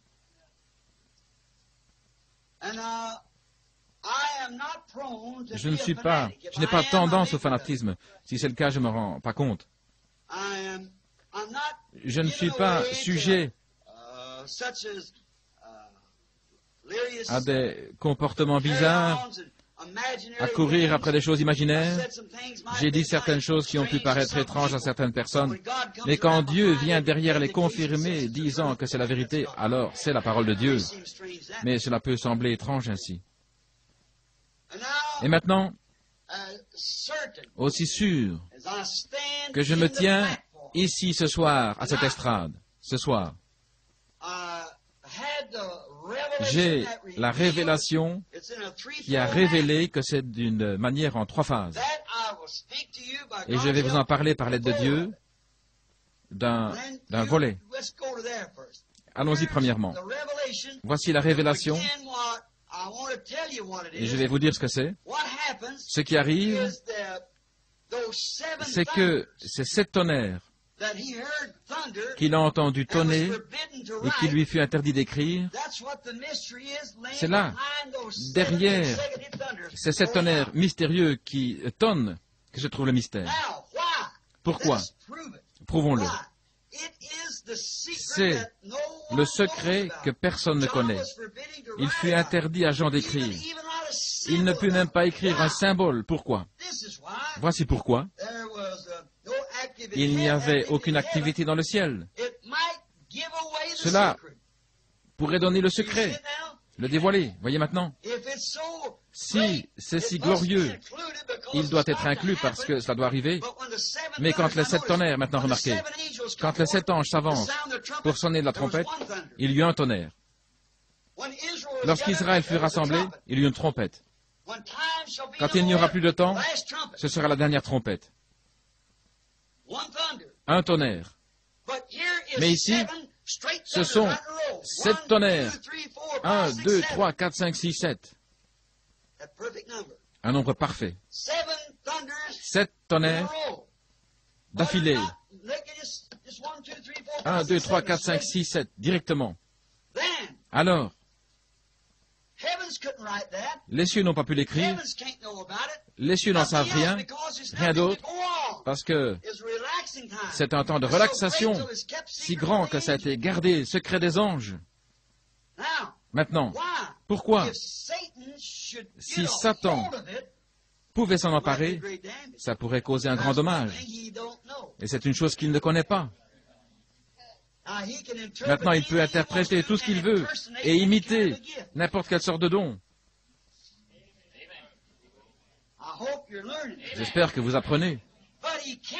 Mais il ne peut pas connaître ceci, ce n'est même pas écrit dans la parole. C'est un secret total, les anges et tout le reste se sont tus. S'ils avaient fait un seul mouvement, cela aurait pu dévoiler quelque chose. C'est pourquoi ils se sont tus.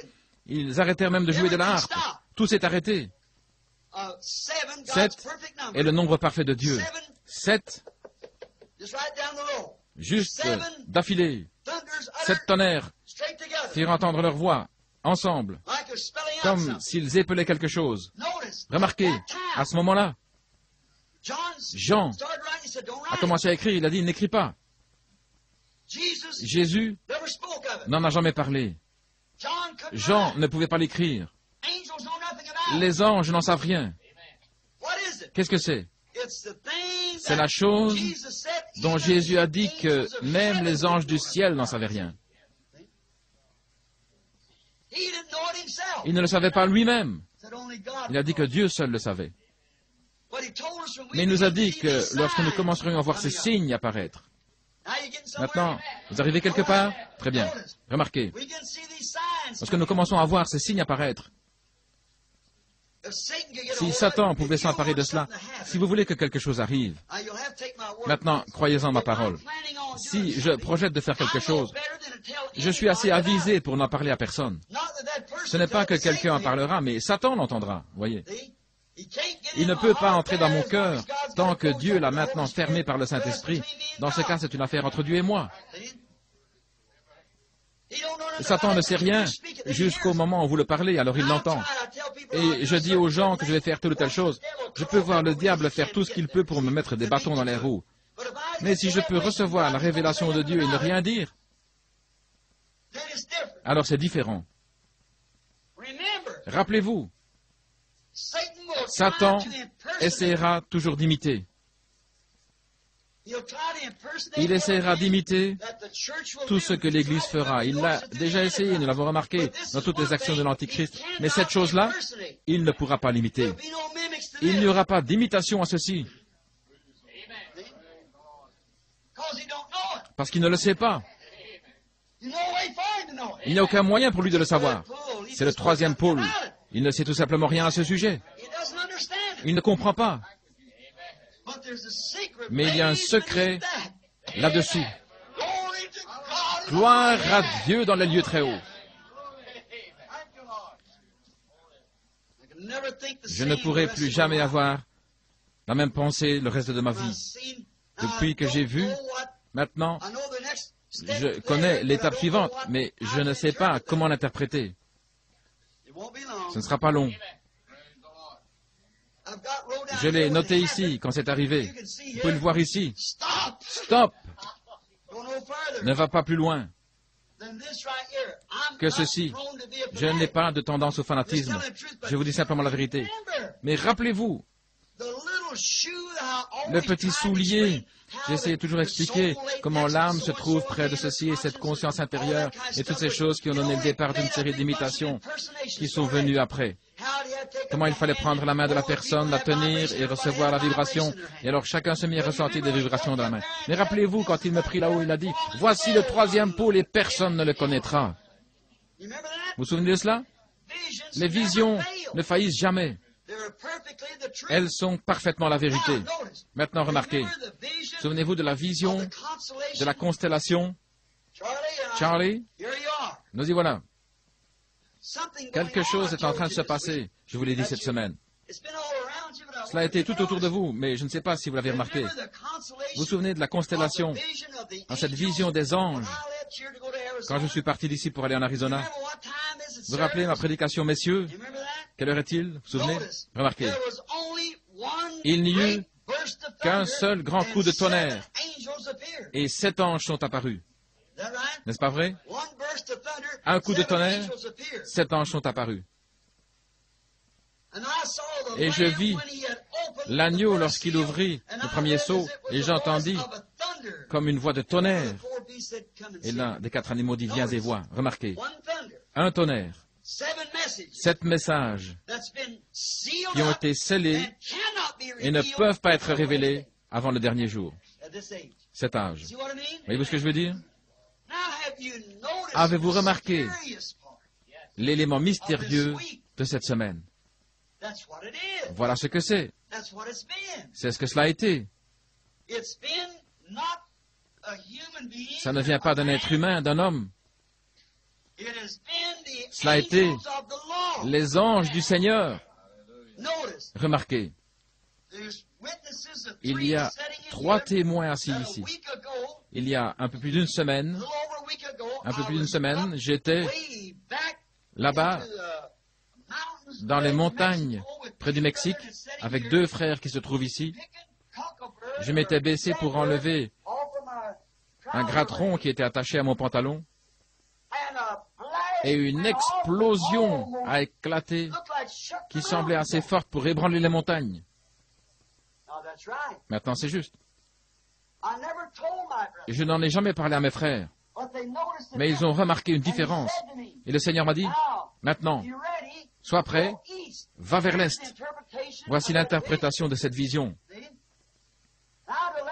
Maintenant, pour vous faire savoir, frère Sotman n'avait pas pu attraper l'animal qu'il chassait. Nous étions en train d'essayer de l'avoir. Alors le Seigneur me dit, ce soir, comme signe pour toi, il ne la trouvera pas. Tu dois te consacrer maintenant pour la visitation de ces anges.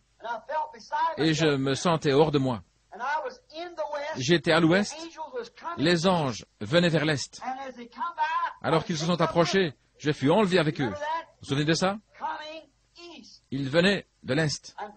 Et frère Fred et Norman ici ce soir sont témoins alors que nous sommes allés là, j'ai presque persuadé cet homme de rester et d'aller chercher sa bête. N'est-ce pas vrai, frère Saltman Il est juste là. Je l'ai persuadé. Et cependant, le Seigneur m'avait dit, il ne la trouvera pas. Je ne dis rien, j'ai continué mon chemin. Quelque chose qui se tenait vers le côté de la tente. Ce jour, vous en souvenez, frère Saltman Presque aussitôt que certaines choses lui furent dites, je vous ai mis, euh, frère, où est frère Norman? Là, je vous ai fait prêter serment de ne pas mentionner ce qui était en train de se passer, n'est-ce pas vrai? Ne me suis-je pas retourné et éloigné de la tente comme ceci, n'est-ce pas vrai? Parce que voilà ce que c'était.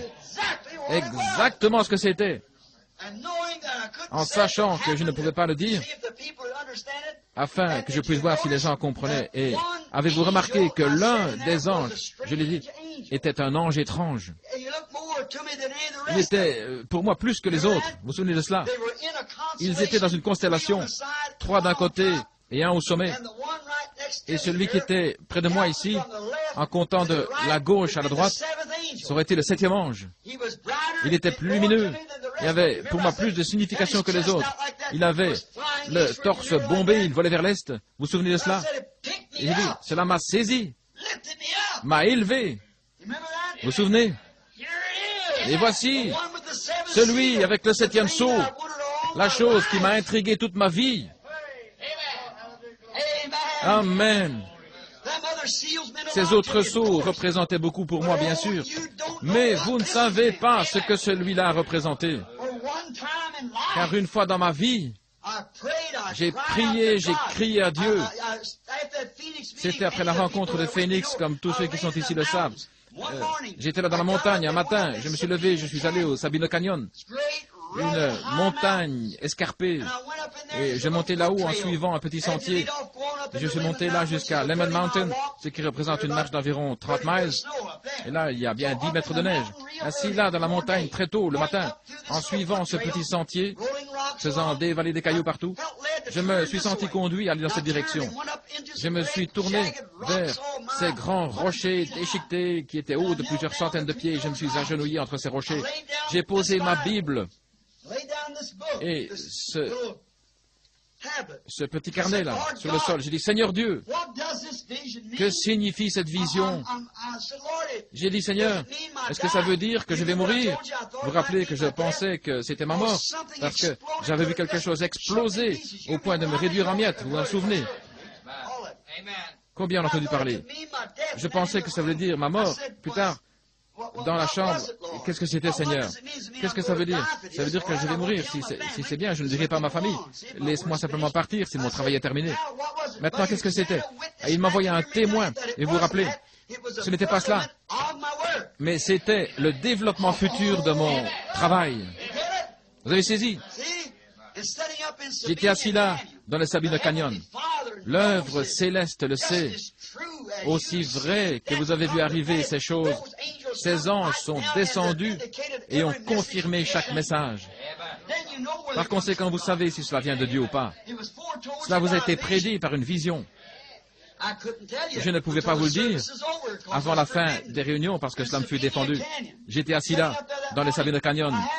J'avais les mains levées. Le vent soufflait à terre. Mon chapeau noir. Je me tenais là, les mains levées, priant, en disant, Seigneur Dieu, que signifie cela? Je ne peux pas comprendre, Seigneur. Que ferais-je si c'est le moment d'entrer à la maison? Laisse-moi partir là-haut, on ne me trouvera pas. Si je dois partir, je ne désire pas que quelqu'un porte le deuil pour moi. J'aimerais simplement que ma famille pense que je suis parti faire une promenade, qu'ils ne me retrouveront pas. Cache-moi quelque part. Si je dois m'en aller, laisse-moi simplement m'en aller. Peut-être Joseph trouvera-t-il ma Bible ici quelque part, qu'il puisse l'utiliser. Si je dois m'en aller, laisse-moi partir, Seigneur. Mes mains étaient tendues et tout à coup quelque chose a touché ma main. Maintenant, je ne sais pas, je ne peux pas le dire. Étais-je endormi? Je ne sais pas. Suis-je tombé dans une transe? Je ne sais pas. Était-ce une vision? Je ne peux pas vous le dire. Tout ce que je peux dire, c'est que c'était comme ces anges. Et cela a touché ma main. J'ai regardé et c'était une épée. Avec une poignée ornée de perles, vraiment belle. Elle avait une garde d'or. Et la lame avait l'apparence de chrome, de l'argent, vraiment brillante. et elle était très tranchante comme un rasoir. Oh là là, je pensais, n'est-ce pas la chose la plus belle qui soit dans ma main Je pensais, c'est vraiment joli.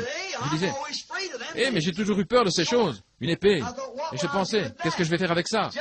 Et tout à l'heure, une voix fit trembler les rochers. C'est l'épée du roi. Et alors, je suis sorti de cet état. L'épée du roi. Maintenant, s'il avait dit l'épée d'un roi, mais c'était l'épée du roi. Et il n'y a qu'un seul, le roi. Et c'est Dieu. Et il n'y a qu'une seule épée, c'est sa parole. C'est par elle que je vis. Alléluia. Ainsi que Dieu me vienne en aide. Aide-moi à revêtir son saint vêtement et à porter cette sainte épée à mon côté. C'est la parole.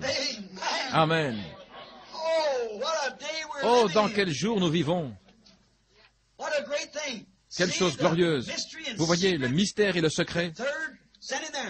Il m'a envoyé là. Lorsque cette chose m'a quitté, quelque chose m'a dit, ne crains pas. Je n'ai pas entendu de voix, mais comme à l'intérieur, quelque chose a parlé. Je vous dis simplement la vérité, exactement ce qui s'est passé. Quelque chose m'a touché et a dit, ne crains pas.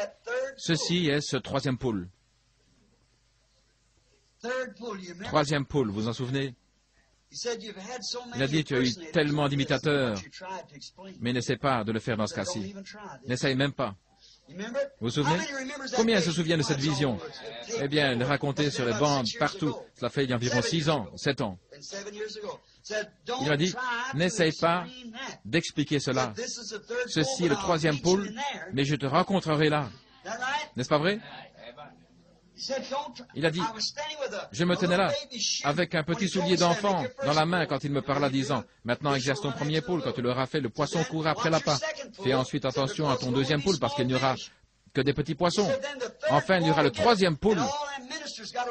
Et tous les prédicateurs m'entourent en disant, Frère Branham, nous savons que vous pouvez le faire. Alléluia, Frère Branham. C'est ainsi que je suis toujours euh, entraîné par une troupe de prédicateurs. J'aime les gens, mais ils veulent toujours qu'on leur explique ceci et cela, qu'on leur explique tout. Et je sais bien, je ne sais pas. Euh, euh, c'est comme pour euh, la pêche, euh, voilà comment ça se passe. Voyez, euh, les poissons aux alentours, vous devez donner une petite secousse à l'appât. J'ai essayé la tactique de la pêche et je leur dis, secouez l'appât. Vous voyez, lorsque je secouais l'appât la première fois, les poissons s'approchaient, ils étaient tout petits. Et l'un mordit à l'appât et je dis, te voilà attrapé. Et je le jetai sur la rive. J'avais bien eu un petit poisson, mais il semblait qu'on aurait dit un petit bout de peau sur l'appât. C'était tellement petit. Et tandis que je me tenais là, quelque chose m'a dit, je t'avais dit de ne pas faire cela. Et je me suis mis à pleurer. Toute la ligne était emmêlée autour de moi comme cela. Je me tenais là en pleurant, la tête baissée, et je disais, Oh Dieu, pardonne-moi. Je suis un homme stupide. Pardonne-moi, Seigneur. Il y avait toute cette ligne autour de moi et voici que je tenais maintenant un petit soulier de bébé dans la main, non comme cela. Mais le lacet était presque aussi gros que mon doigt, environ à demi-pouce. Et l'œillet de ce petit soulier ne devait pas avoir plus d'un, d'un millimètre et demi. Et j'essayais de lasser ce petit soulier avec cette grosse corde d'un demi-pouce. Une voix me dit alors, tu ne peux pas enseigner à des bébés pentecôtistes des choses surnaturelles. Laisse-les tranquilles. À ce moment-là, il m'a enlevé et m'a déposé quelque part où il y avait un grand rassemblement. Ça ressemblait à une tente ou à une sorte de cathédrale. Et je regardais, voici, de l'autre côté, il y avait un petit endroit un peu semblable à une boîte. Et je vis cette lumière. Cette lumière parlait à quelqu'un. Cette lumière que vous voyez là sur la photo. Elle s'éloigna de moi tourbillonnant comme ceci. Et alla se placer en disant, je te rencontrerai là. Ce sera le troisième pôle. Et tu n'en diras à personne. Tu n'en parleras. Et dans le Sabine Canyon, il m'avait dit, ceci est le troisième pôle. Et il y a trois choses glorieuses qui l'accompagnent. L'une a été dévoilée aujourd'hui, L'autre s'est dévoilée aujourd'hui. Et il y a une chose que je ne peux pas interpréter, car c'est dans une langue inconnue. Tandis que je me tenais là et que je regardais cette chose en face, je vis que c'était l'arrivée du troisième pôle et le Saint-Esprit de Dieu. Oh là là, c'est la raison pour laquelle tout le ciel fut silencieux. Maintenant, il vaut mieux que je m'arrête ici, voyez. Je, je, me sens simplement empêché d'en dire plus. Rappelez-vous simplement, le septième sceau, la raison pour laquelle il n'a pas été ouvert, la raison pour laquelle il ne l'a pas révélé, c'est que personne ne doit rien en connaître. Et j'aimerais que vous sachiez que la vision me vint des années avant que je sache quoi que ce soit là-dessus. Vous vous souvenez? Et voici, tout comme l'autre, ça se glisse directement dans la parole. Et Dieu connaît mon cœur. Jamais une seule fois, je n'ai pensé à une telle chose. Et voilà, c'était là. Il est plus tard que nous le pensons. Oh là là. Cela montre simplement que cela vient de Dieu. Car vous voyez, cela correspond exactement aux promesses de Dieu à la fin de ce message. Remarquez. Remarquez maintenant, à la fin du message du, message du temps de la fin, ce saut, après avoir révélé les six sauts, il ne dit rien au sujet du septième. Et le saut du temps de la fin, quand il commencera, ce sera absolument un secret total, selon la Bible. Avant de le connaître, rappelez-vous, Apocalypse 10 de 1 à 7, 1 à 7, chapitre 10, de verset 1 à 7, à la fin du message du septième ange, tous les mystères de Dieu seraient connus. Nous sommes au temps de la fin, l'ouverture du septième sceau. Maintenant, comment est-ce que je savais dimanche passé, il y a une semaine aujourd'hui, j'ai prêché sur Soyez humble, soyez humble. Rappelez-vous que Dieu agit dans les petites choses. Je ne me rendais pas compte de ce que disait réellement cette prédication, mais maintenant je le vois. Tout se passe d'une manière si humble. On pourrait penser qu'une telle chose serait révélée au Vatican. Mais cela vient comme avec Jean-Baptiste. Cela vient comme la naissance de notre Seigneur. Dans une étable. Gloire à Dieu. Qu'il m'aide car l'heure est proche. Nous y sommes. Oh là là. Maintenant, voyez-vous, voyez-vous la vérité de la vision de Dieu et de ces sept anges me ramenant de l'ouest. Il venait de l'ouest, revenant vers l'est et m'amenant ici pour ce message ce soir. Oh là là. La voix de ce glorieux tonnerre et la mission qui a été donnée ici ont été révélées et prouvées comme venant de Dieu. Pensez-y seulement. Je ne savais rien, je ne savais pas ces sceaux, et ils ont été révélés cette semaine. Quelqu'un a-t-il pensé à cela? C'est sept anges. Ceci étant le message qui allait être donné, ces anges qui m'ont ramené ici pour cela. Rappelez-vous que ce septième messager, ces sept messagers, ce septième, semblait avoir plus de signification pour moi que les autres. Il se tenait comme ceci. Je voudrais simplement que vous le remarquiez. Et moi, je me tenais ici, et je regardais, et je vis un premier groupe de petits oiseaux aux plumes ébouriffées, vous vous souvenez Et ils volaient tous vers l'est. Le deuxième groupe était formé d'oiseaux plus gros, de plus belle apparence, comme des colombes aux ailes déployées. Ils volaient aussi vers l'est. Premier pôle, deuxième pôle. Ensuite, ensuite, c'était des anges. Je me tenais là. quand cette explosion se produit et je regardais dans ces directions vers l'ouest et les voici qui s'approchèrent et m'enlevèrent de là et je me trouvais et je perdis immédiatement connaissance.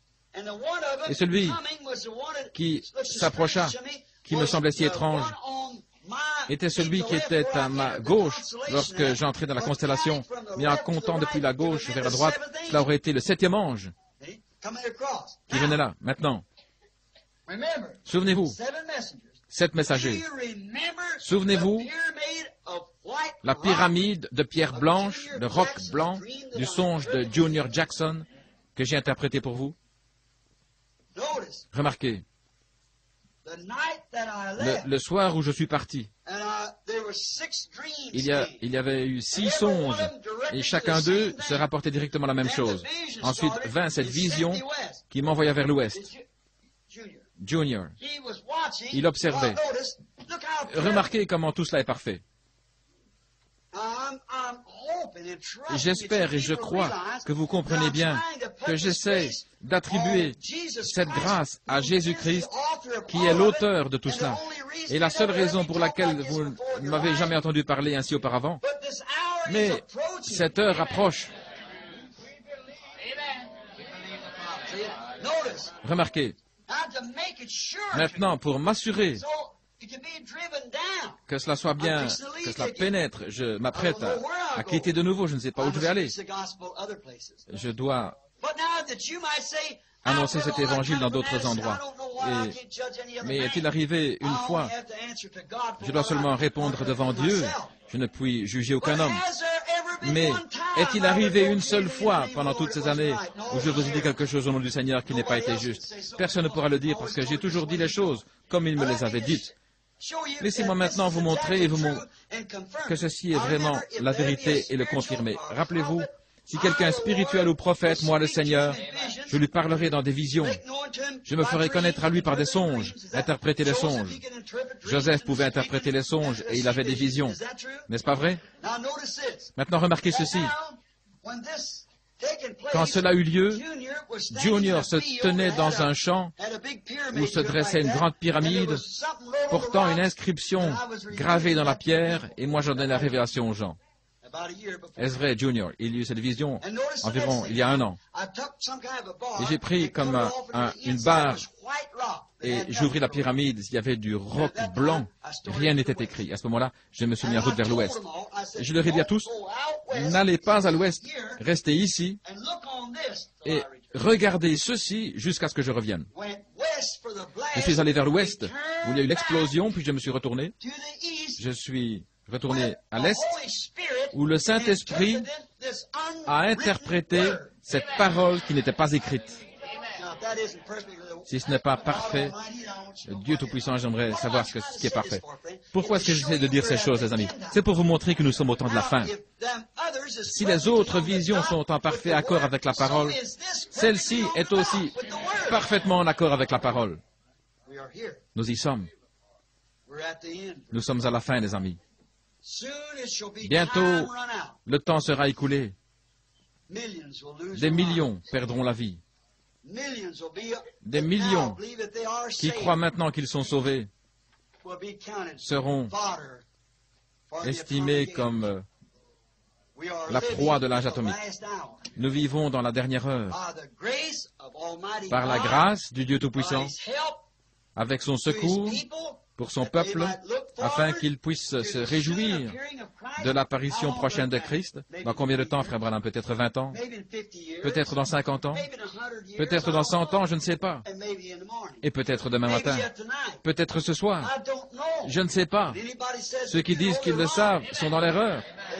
Ils ne savent pas. Dieu seul le sait. Maintenant, remarquez que Dieu m'aide. Je dis la vérité.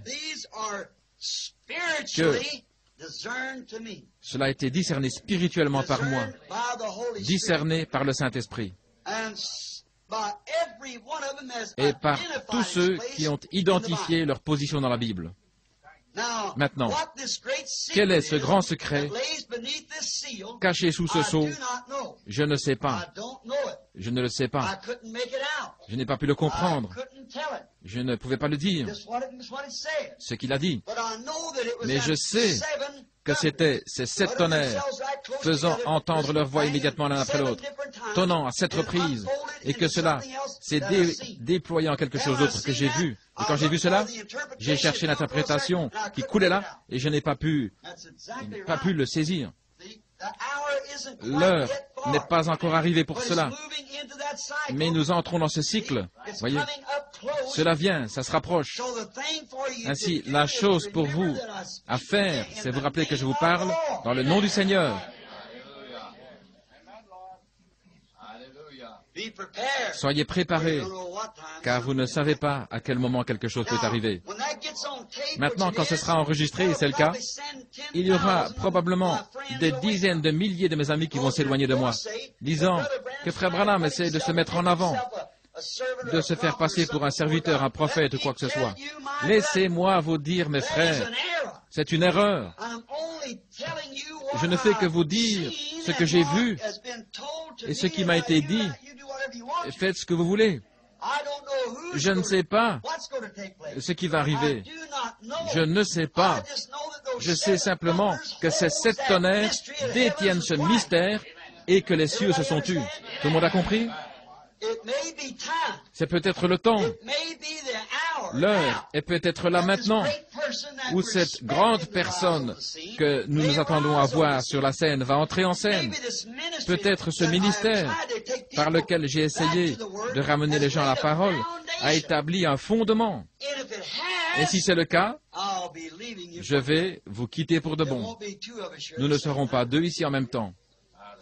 Si c'est le cas, il va croître et je vais diminuer. Je ne sais pas. Mais j'ai eu le privilège par Dieu de regarder et voir ce que c'était. Et le dévoiler jusqu'à ce point, et c'est la vérité. Et je suis sûr que vous avez remarqué les choses qui se sont passées cette semaine. Je suis sûr, l'autre soir, vous avez remarqué ce petit garçon Collins, là en train de mourir, cette petite fille avec la leucémie.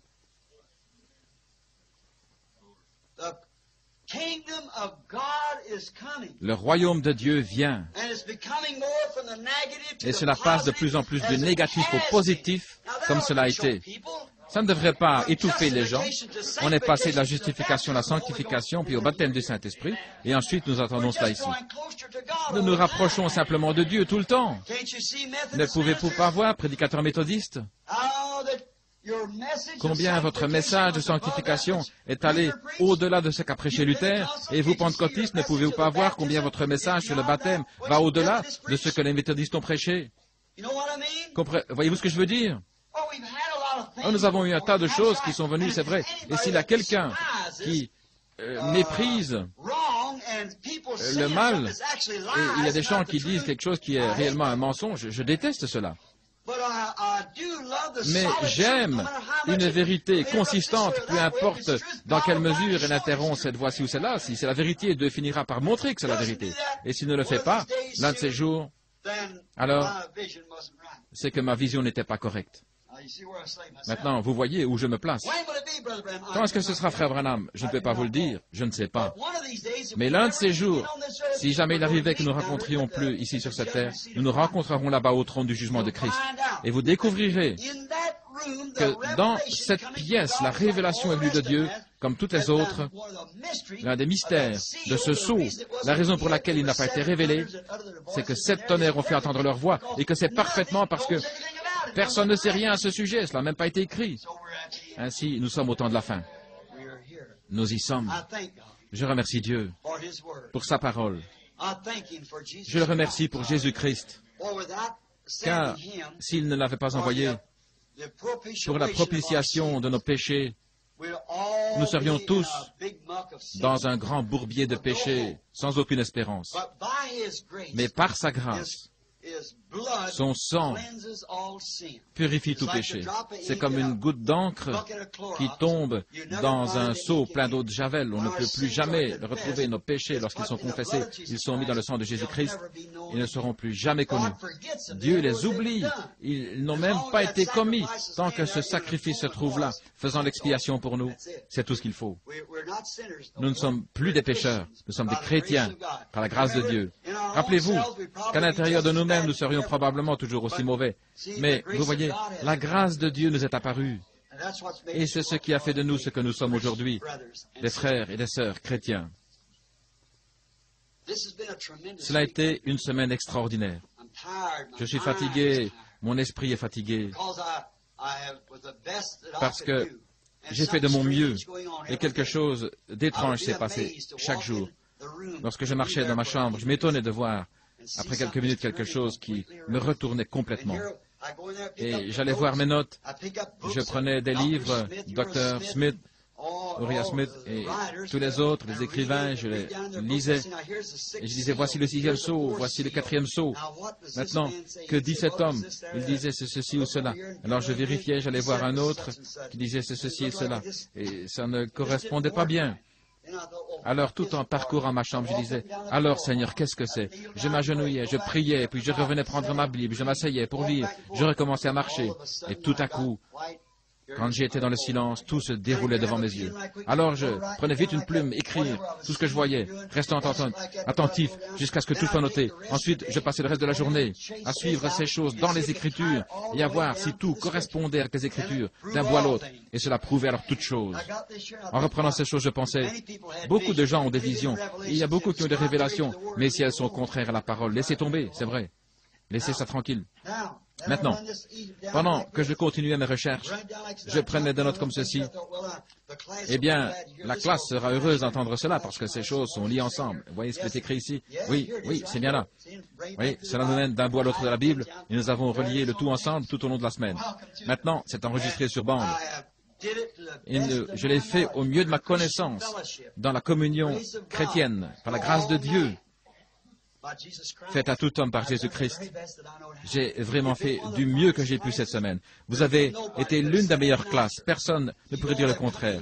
Vous veniez tous dès une heure alors que les portes ne s'ouvrent qu'à cinq heures. Vous êtes restés dans le froid dans la neige. Vous avez tout fait. Vous êtes restés debout contre les murs jusqu'à avoir euh, mal aux jambes.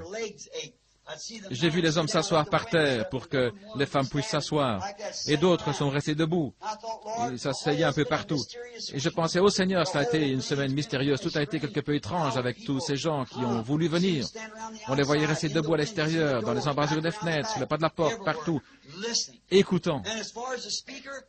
Et je suis loin d'être un orateur. Je suis assez intelligent pour savoir que je ne suis pas un orateur. Mais pourquoi les gens viennent-ils écouter comme cela? Pourquoi font-ils cela? Ils ne viendraient pas écouter une personne comme moi, mais ils sont venus parce qu'il y a quelque chose là-dedans qui attire les gens. Voyez, il y a là quelque chose qui les attire. C'est comme le dit ce cantique que chantait ma femme. Ils viennent de l'Est et de l'Ouest. Ils viennent de pays éloignés pour avoir part au festin avec le roi, pour être ses hôtes au souper. Qu'ils sont bénis, ces pèlerins, ils contemplent sa face bénie, brillante de lumière divine, participant bénis de sa grâce comme des joyaux étincelants de sa couronne. Puissiez-vous toujours garder ceci à l'esprit, être une pierre précieuse dans la couronne de Jésus-Christ. Paul a dit à l'Église, vous êtes les joyaux, les pierres précieuses de sa couronne. Nous désirons être les pierres précieuses de la couronne de Jésus-Christ. Nous ne voudrons jamais mettre cette couronne sur la tête d'un homme. Oubliez toute chose à ce sujet. Je suis votre frère, un pécheur sauvé par grâce, indigne de vivre. C'est l'exacte vérité. Je ne dis pas ça pour être humble, c'est un fait. Il n'y a rien en moi, pas une seule chose saine, mais la grâce de Dieu a permis à mes pauvres yeux obscurcis de regarder au-delà du rideau du temps et voir ces choses. Et je reviens. Quand j'étais un petit garçon, j'aimais les gens et j'aurais toujours aimé avoir quelqu'un qui m'aime et me parle. Mais personne ne voulait le faire à cause de la mauvaise réputation de ma famille. Personne ne voulait me parler. Mais lorsque je me suis abandonné à Dieu, et je pensais que peut-être ma famille était d'origine irlandaise et tous ses membres catholiques, cela arrangerait les choses. Je suis allé là, et c'était d'une manière. Dans la première église baptiste, c'était d'une autre manière. Je dis, Seigneur, il doit y avoir quelque part où c'est la vérité. Alors quelque chose m'a dit, c'est la parole je me suis tenu à cette parole. Voyez ces visions partout le jour où j'ai posé la pierre d'angle de cette église. J'y ai écrit ce qu'il m'avait montré en vision le matin même. Prêche la parole, insiste en toute occasion, favorable ou non, reprend, censure, exhorte avec toute douceur et instruisant, car il viendra un temps où les hommes ne supporteront pas la saine doctrine, mais ayant la démargaison d'entendre des choses agréables. Ils se donneront une foule de docteurs selon leurs propres désirs, détourneront l'oreille de la vérité, ils se tourneront vers les fables. J'ai vu ces deux arbres auprès desquels je me trouvais faisant exactement la même chose. L'un et l'autre, c'est vrai. Voilà où nous en sommes. C'est la vérité. Maintenant, souvenez-vous, laissez-moi vous exhorter à nouveau. Ne dites pas merci à qui que ce soit. Ne pensez pas qu'il y a un ministre ou un homme immortel qui peut faire quoi que ce soit, parce que ce n'est pas, peu importe qui il est. Il n'y a rien de bon en aucun homme. C'est vrai. S'il y avait ici toute une série de trompettes et que l'une d'elles lui jouait une certaine musique, ce qui compte, c'est l'homme. Ces trompettes sont parfaitement muettes. C'est celui qui sait jouer de la trompette et qui sait ce qu'il va faire quand il la prend. La trompette n'a rien en elle-même. Le son vient de l'intelligence qui est derrière elle. C'est vrai, toutes les trompettes sont les mêmes, tous les hommes sont les mêmes, tous les chrétiens sont les mêmes. Il n'y a pas de grands hommes parmi nous. Nous ne sommes pas de grands hommes, de grandes femmes. Nous sommes tous des frères et des sœurs, tous les mêmes et du même ordre de grandeur. Nous ne sommes pas grands. Nous ne faisons pas quelque chose plus grand les uns que les autres. Ce n'est pas du tout une chose à faire. Pas du tout. Non, monsieur. Mais nous sommes simplement tous des êtres humains. N'essayez pas d'interpréter les choses. N'essayez pas de faire quoi que ce soit de plus que vivre simplement une vie proche de Jésus-Christ, lui donnant gloire et honneur. Tout le monde comprend cela maintenant? Aimez-le de tout votre cœur. Allez-vous le faire?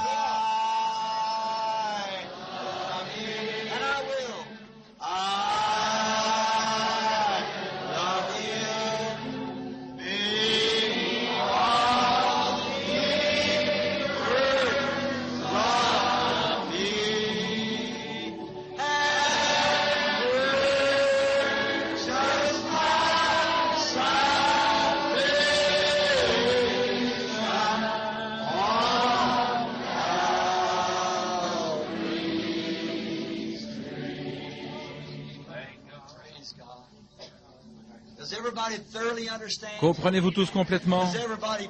Est-ce que chacun croit? Rappelez-vous par quoi j'ai commencé? Qui a cru à notre rapport? À qui le bras de l'Éternel a-t-il été révélé? Vous a-t-il révélé? sa miséricorde et sa bonté. Amen. Rappelez-vous simplement, aimez-le de tout votre cœur. Maintenant, je vais retourner à la maison et je reviendrai à nouveau, Dieu voulant, faire le 1er juin. Si le Seigneur le met sur mon cœur, peut-être je vous reverrai au début de l'été, en juin ou à un autre moment, ou peut-être au début de l'automne si le Seigneur tarde. J'aimerais bien revenir et passer encore cette soirée pour les sept dernières trompettes. Aimeriez-vous cela? Voulez-vous prier pour moi? Que Dieu m'aide Très bien. Jusqu'à ce que nous nous revoyons. Et rappelez-vous ce bon vieux cantique.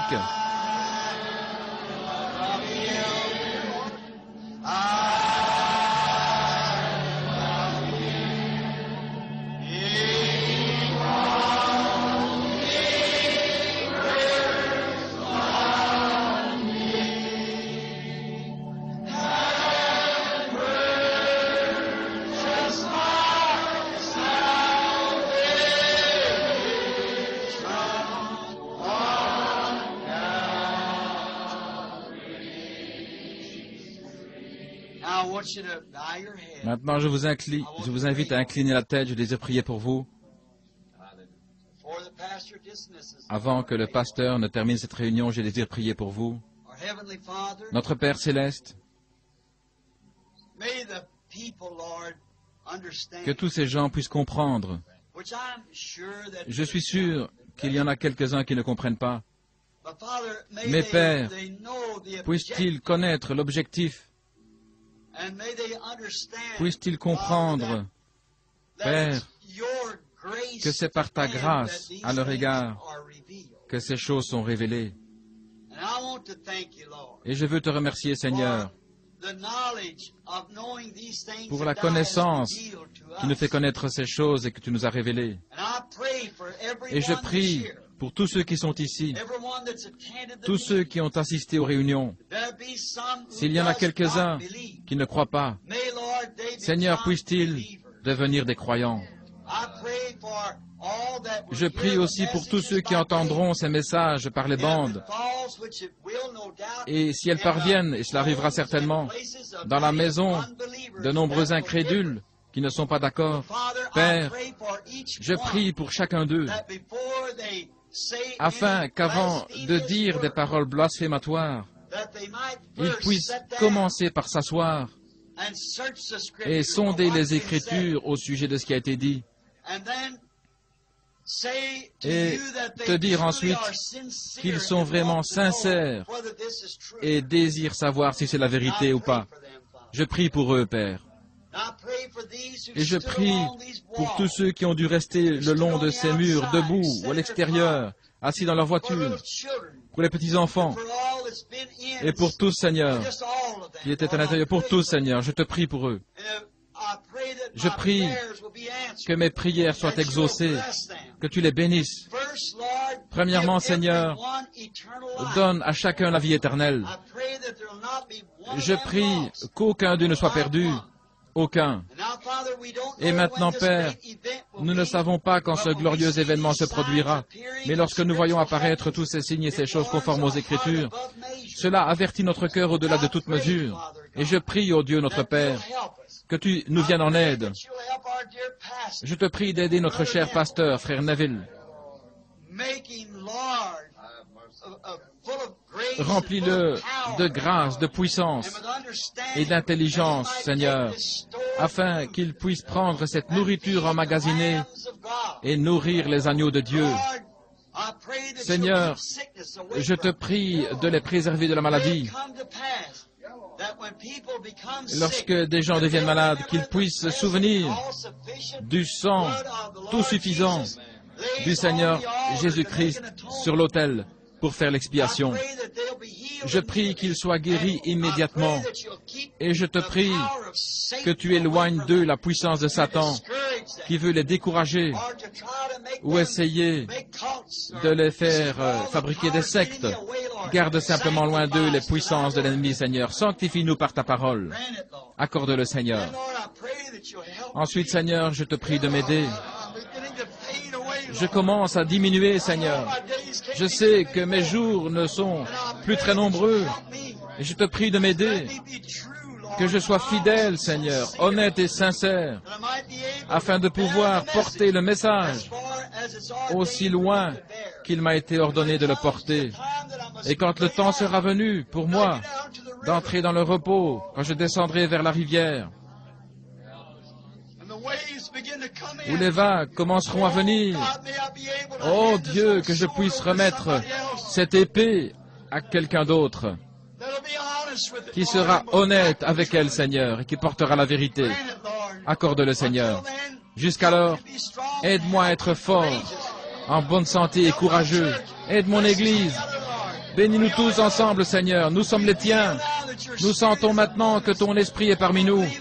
Nous croyons que tu répondras à nos prières, car nous nous en remettons à toi avec ta parole, pour être à ton service pour le reste de nos jours sur cette terre.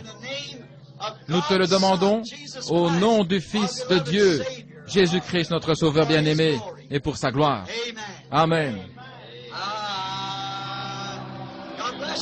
Que Dieu vous bénisse.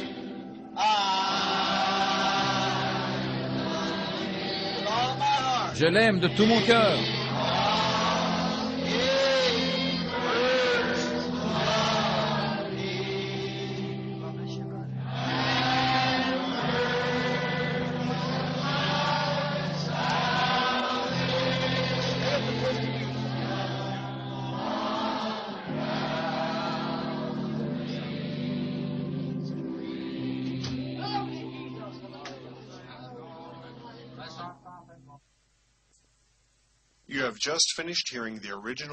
Vous venez d'entendre le septième saut original prêché le 24 mars 1963 au Branham Tabernacle à Jeffersonville. Frère Branham ne voulait pas que cet enregistrement soit délivré. Le jour suivant, Frère Branham est allé dans une chambre de motel avec Frère Saltman et Frère Maguire. À ce moment-là, ils, étaient en charge de faire les enregistrements. Frère Branham a dit à ses frères, je ne veux pas que ce message sorte comme il a été donné.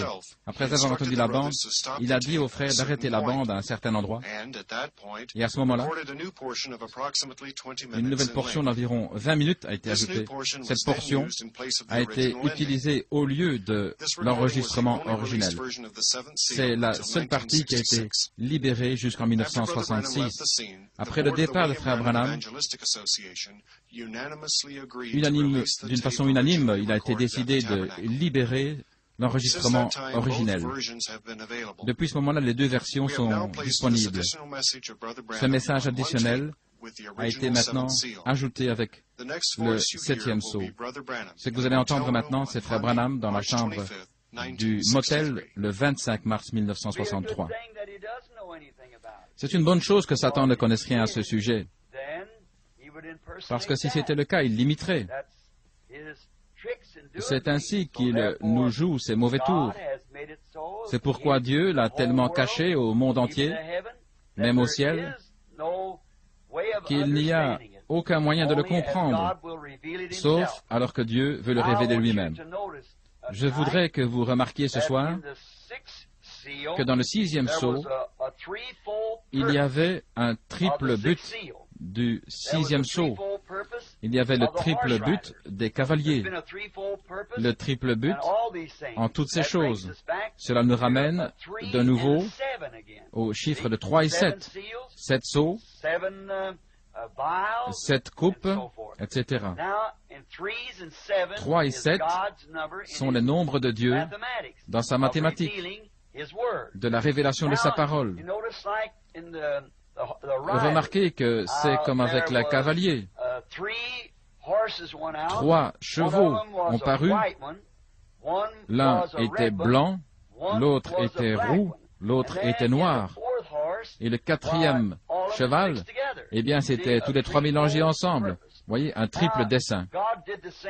Dieu a fait la même chose quand il a envoyé son lion, qui était sa parole, pour combattre l'Antichrist. Nous découvrons ensuite qu'il envoie le bœuf pendant le temps de la tribulation, l'animal de sacrifice, et pendant ce temps de tribulation, tout ce que les gens pouvaient faire, était de travailler comme des esclaves et s'offrir eux-mêmes en sacrifice. Ensuite, nous voyons dans l'âge suivant, l'âge des réformateurs, Dieu a envoyé la sagesse d'un homme. L'être vivant a une face d'homme, qui était une puissance qui s'est manifestée dans les âges des réformateurs. Il n'est pas étonnant que les gens d'aujourd'hui vivent encore des restes de la réforme. C'est parce qu'ils voient les choses de la manière ecclésiastique. Ils le voient selon ce qu'on a enseigné dans les séminaires. Ce fut un temps où cela a été la manière de Dieu, mais nous avons dépassé ce temps-là. Maintenant, nous sommes dans l'âge de l'aigle. La révélation, ce qui doit être révélé. Comparez ceci avec Apocalypse 10, versets 1 à 7, où il est dit ici, dans Apocalypse 10, 2 à 7, qu'au jour de la voix du message du septième ange, cela devait terminer tous les mystères de Dieu. Nous avons vu aussi que l'ouverture du sixième sceau maintenant, c'était dans un triple but. Voici les buts. La première chose, c'est que les vierges endormies doivent passer par la tribulation pour être purifiées. Elles doivent être purifiées de leur péché d'incrédulité pour avoir rejeté le message. C'est ce qu'elles font pendant la période de tribulation. Nous les voyons aboutir ici dans Apocalypse 7, entre le sixième et le septième chapitre ici, où elles ont été purifiées, où elles reçoivent leur robe. Maintenant, ce n'est pas l'épouse, c'est l'Église qui sont purs, des gens n'ont peut-être pas eu l'occasion de recevoir le message, ou qui ont été aveuglés d'une manière ou l'autre par des faux prophètes, ils n'ont pas eu l'occasion. Pourtant, leur cœur est réellement sincère, et Dieu connaît leur cœur, et ils sont purifiés pendant ce temps-là. Remarquez qu'il y a encore une autre période de purification, c'est pour Israël. Quand ils se rassemblent, c'est le deuxième dessein. Dieu purifie Israël pendant la période de tribulation parmi les millions qui se rassembleront là il y aura 144 000 qui seront choisis et ils seront purifiés également. C'est Dieu qui purifie Israël. Remarquez, toute la terre doit être purifiée. Il se passera quelque chose qui fera que la lune, les étoiles et toute la nature seront purifiées. Voyez ce que c'est? La terre se renouvelle étant purifié et se préparant pour le millénium. Le millénium arrive, et vous voyez, tout ce qui a la moindre souillure en soi doit être purifié pendant le sixième saut. Maintenant, avez-vous remarqué à l'ouverture du septième saut, c'est aussi un triple mystère en trois parties. Il y a celui dont j'ai parlé et dont je parlerai encore, c'est le mystère des sept tonnerres les sept tonnerres dans le ciel vont dévoiler ce mystère. Ce sera au moment même de la venue de Christ, parce que Christ a dit que personne ne saurait quand il reviendrait. Avez-vous remarqué quand les Juifs lui ont demandé cela? Vous avez vu que les Écritures, quand nous avons comparé les six sceaux avec Matthieu 24, le septième sceau avait été laissé de côté. Parce que vous voyez, Christ dit que pas même les anges ne savaient, seul Dieu lui-même le savait, ce n'était même pas écrit. Ils se sont tus. Voyez-vous, les anges ne le savent pas, personne ne sait quand il vient. Mais il y aura sept voix de cet tonnerre qui révéleront la grande révélation à ce moment-là. Ainsi, je crois, si nous ne savons pas, que cela ne sera pas connu avant ce temps-là, mais ce sera révélé ce jour-là, à l'heure où c'est censé être révélé. Ainsi, la seule chose à faire, c'est d'avoir du respect devant Dieu, de le servir et de faire tout ce que nous pouvons faire, vivre une bonne vie chrétienne. Nous voyons maintenant ici que le sixième sceau a été ouvert, nous l'avons vu, et nous savons que le septième sceau ne peut pas être brisé au public avant que cette heure n'arrive. Maintenant, il y a une raison pour laquelle Dieu a fait tonner ces sept voix, car elles doivent venir. Et nous découvrons que Christ, l'agneau, a pris le livre dans sa main et qu'il a ouvert ce septième sceau. Mais vous voyez, c'est un mystère caché. Personne ne le connaît. Mais cela correspond bien à ce qu'il a dit, personne ne saurait quand il viendrait. et aussi que personne ne saura rien au sujet de ce mystère de sept tonnerres. Si nous voyons que c'est connecté ensemble, nous pouvons comprendre cela aujourd'hui, parce que le reste, c'est n'a pas été dévoilé, mais ceci a été dévoilé. J'étais assis dans ma chambre et j'ai entendu, pas entendu, mais plutôt j'ai vu ces choses se dévoiler jusqu'à ces sept tonnerres. Et c'est aussi loin que nous pouvons aller, juste là. Et je crois que chacun de vous, vous allez servir Dieu, faire ce qui est juste, l'aimer toute votre vie, le servir, et Dieu prendra soin du reste. Maintenant, par la grâce de Dieu, nous avons ici au complet tous les mystères des six sceaux qui ont été scellés, et nous comprenons et nous savons ici que le septième sceau ne doit pas être connu au public. Maintenant, au sujet de sa venue, quand la terre sera détruite, vous savez qu'il est dit dans Matthieu 24 qu'elle sera le signe de la fin du monde. Matthieu 24, lorsqu'ils lui ont posé cette question, il est allé dans ce sujet, il leur a parlé du rassemblement d'Israël en tant que nation, au verset 31. De Matthieu 24, 31. Mais après, il commença à leur parler en parabole, vous voyez. Et il leur dit, instruisez-vous d'une comparaison du figuier lorsqu'il commence à pousser des bourgeons, eh bien vous savez que le printemps est proche. De même, quand vous verrez ces choses arriver, alors sachez que le temps est proche. Vous voyez Israël se rassembler dans sa propre patrie.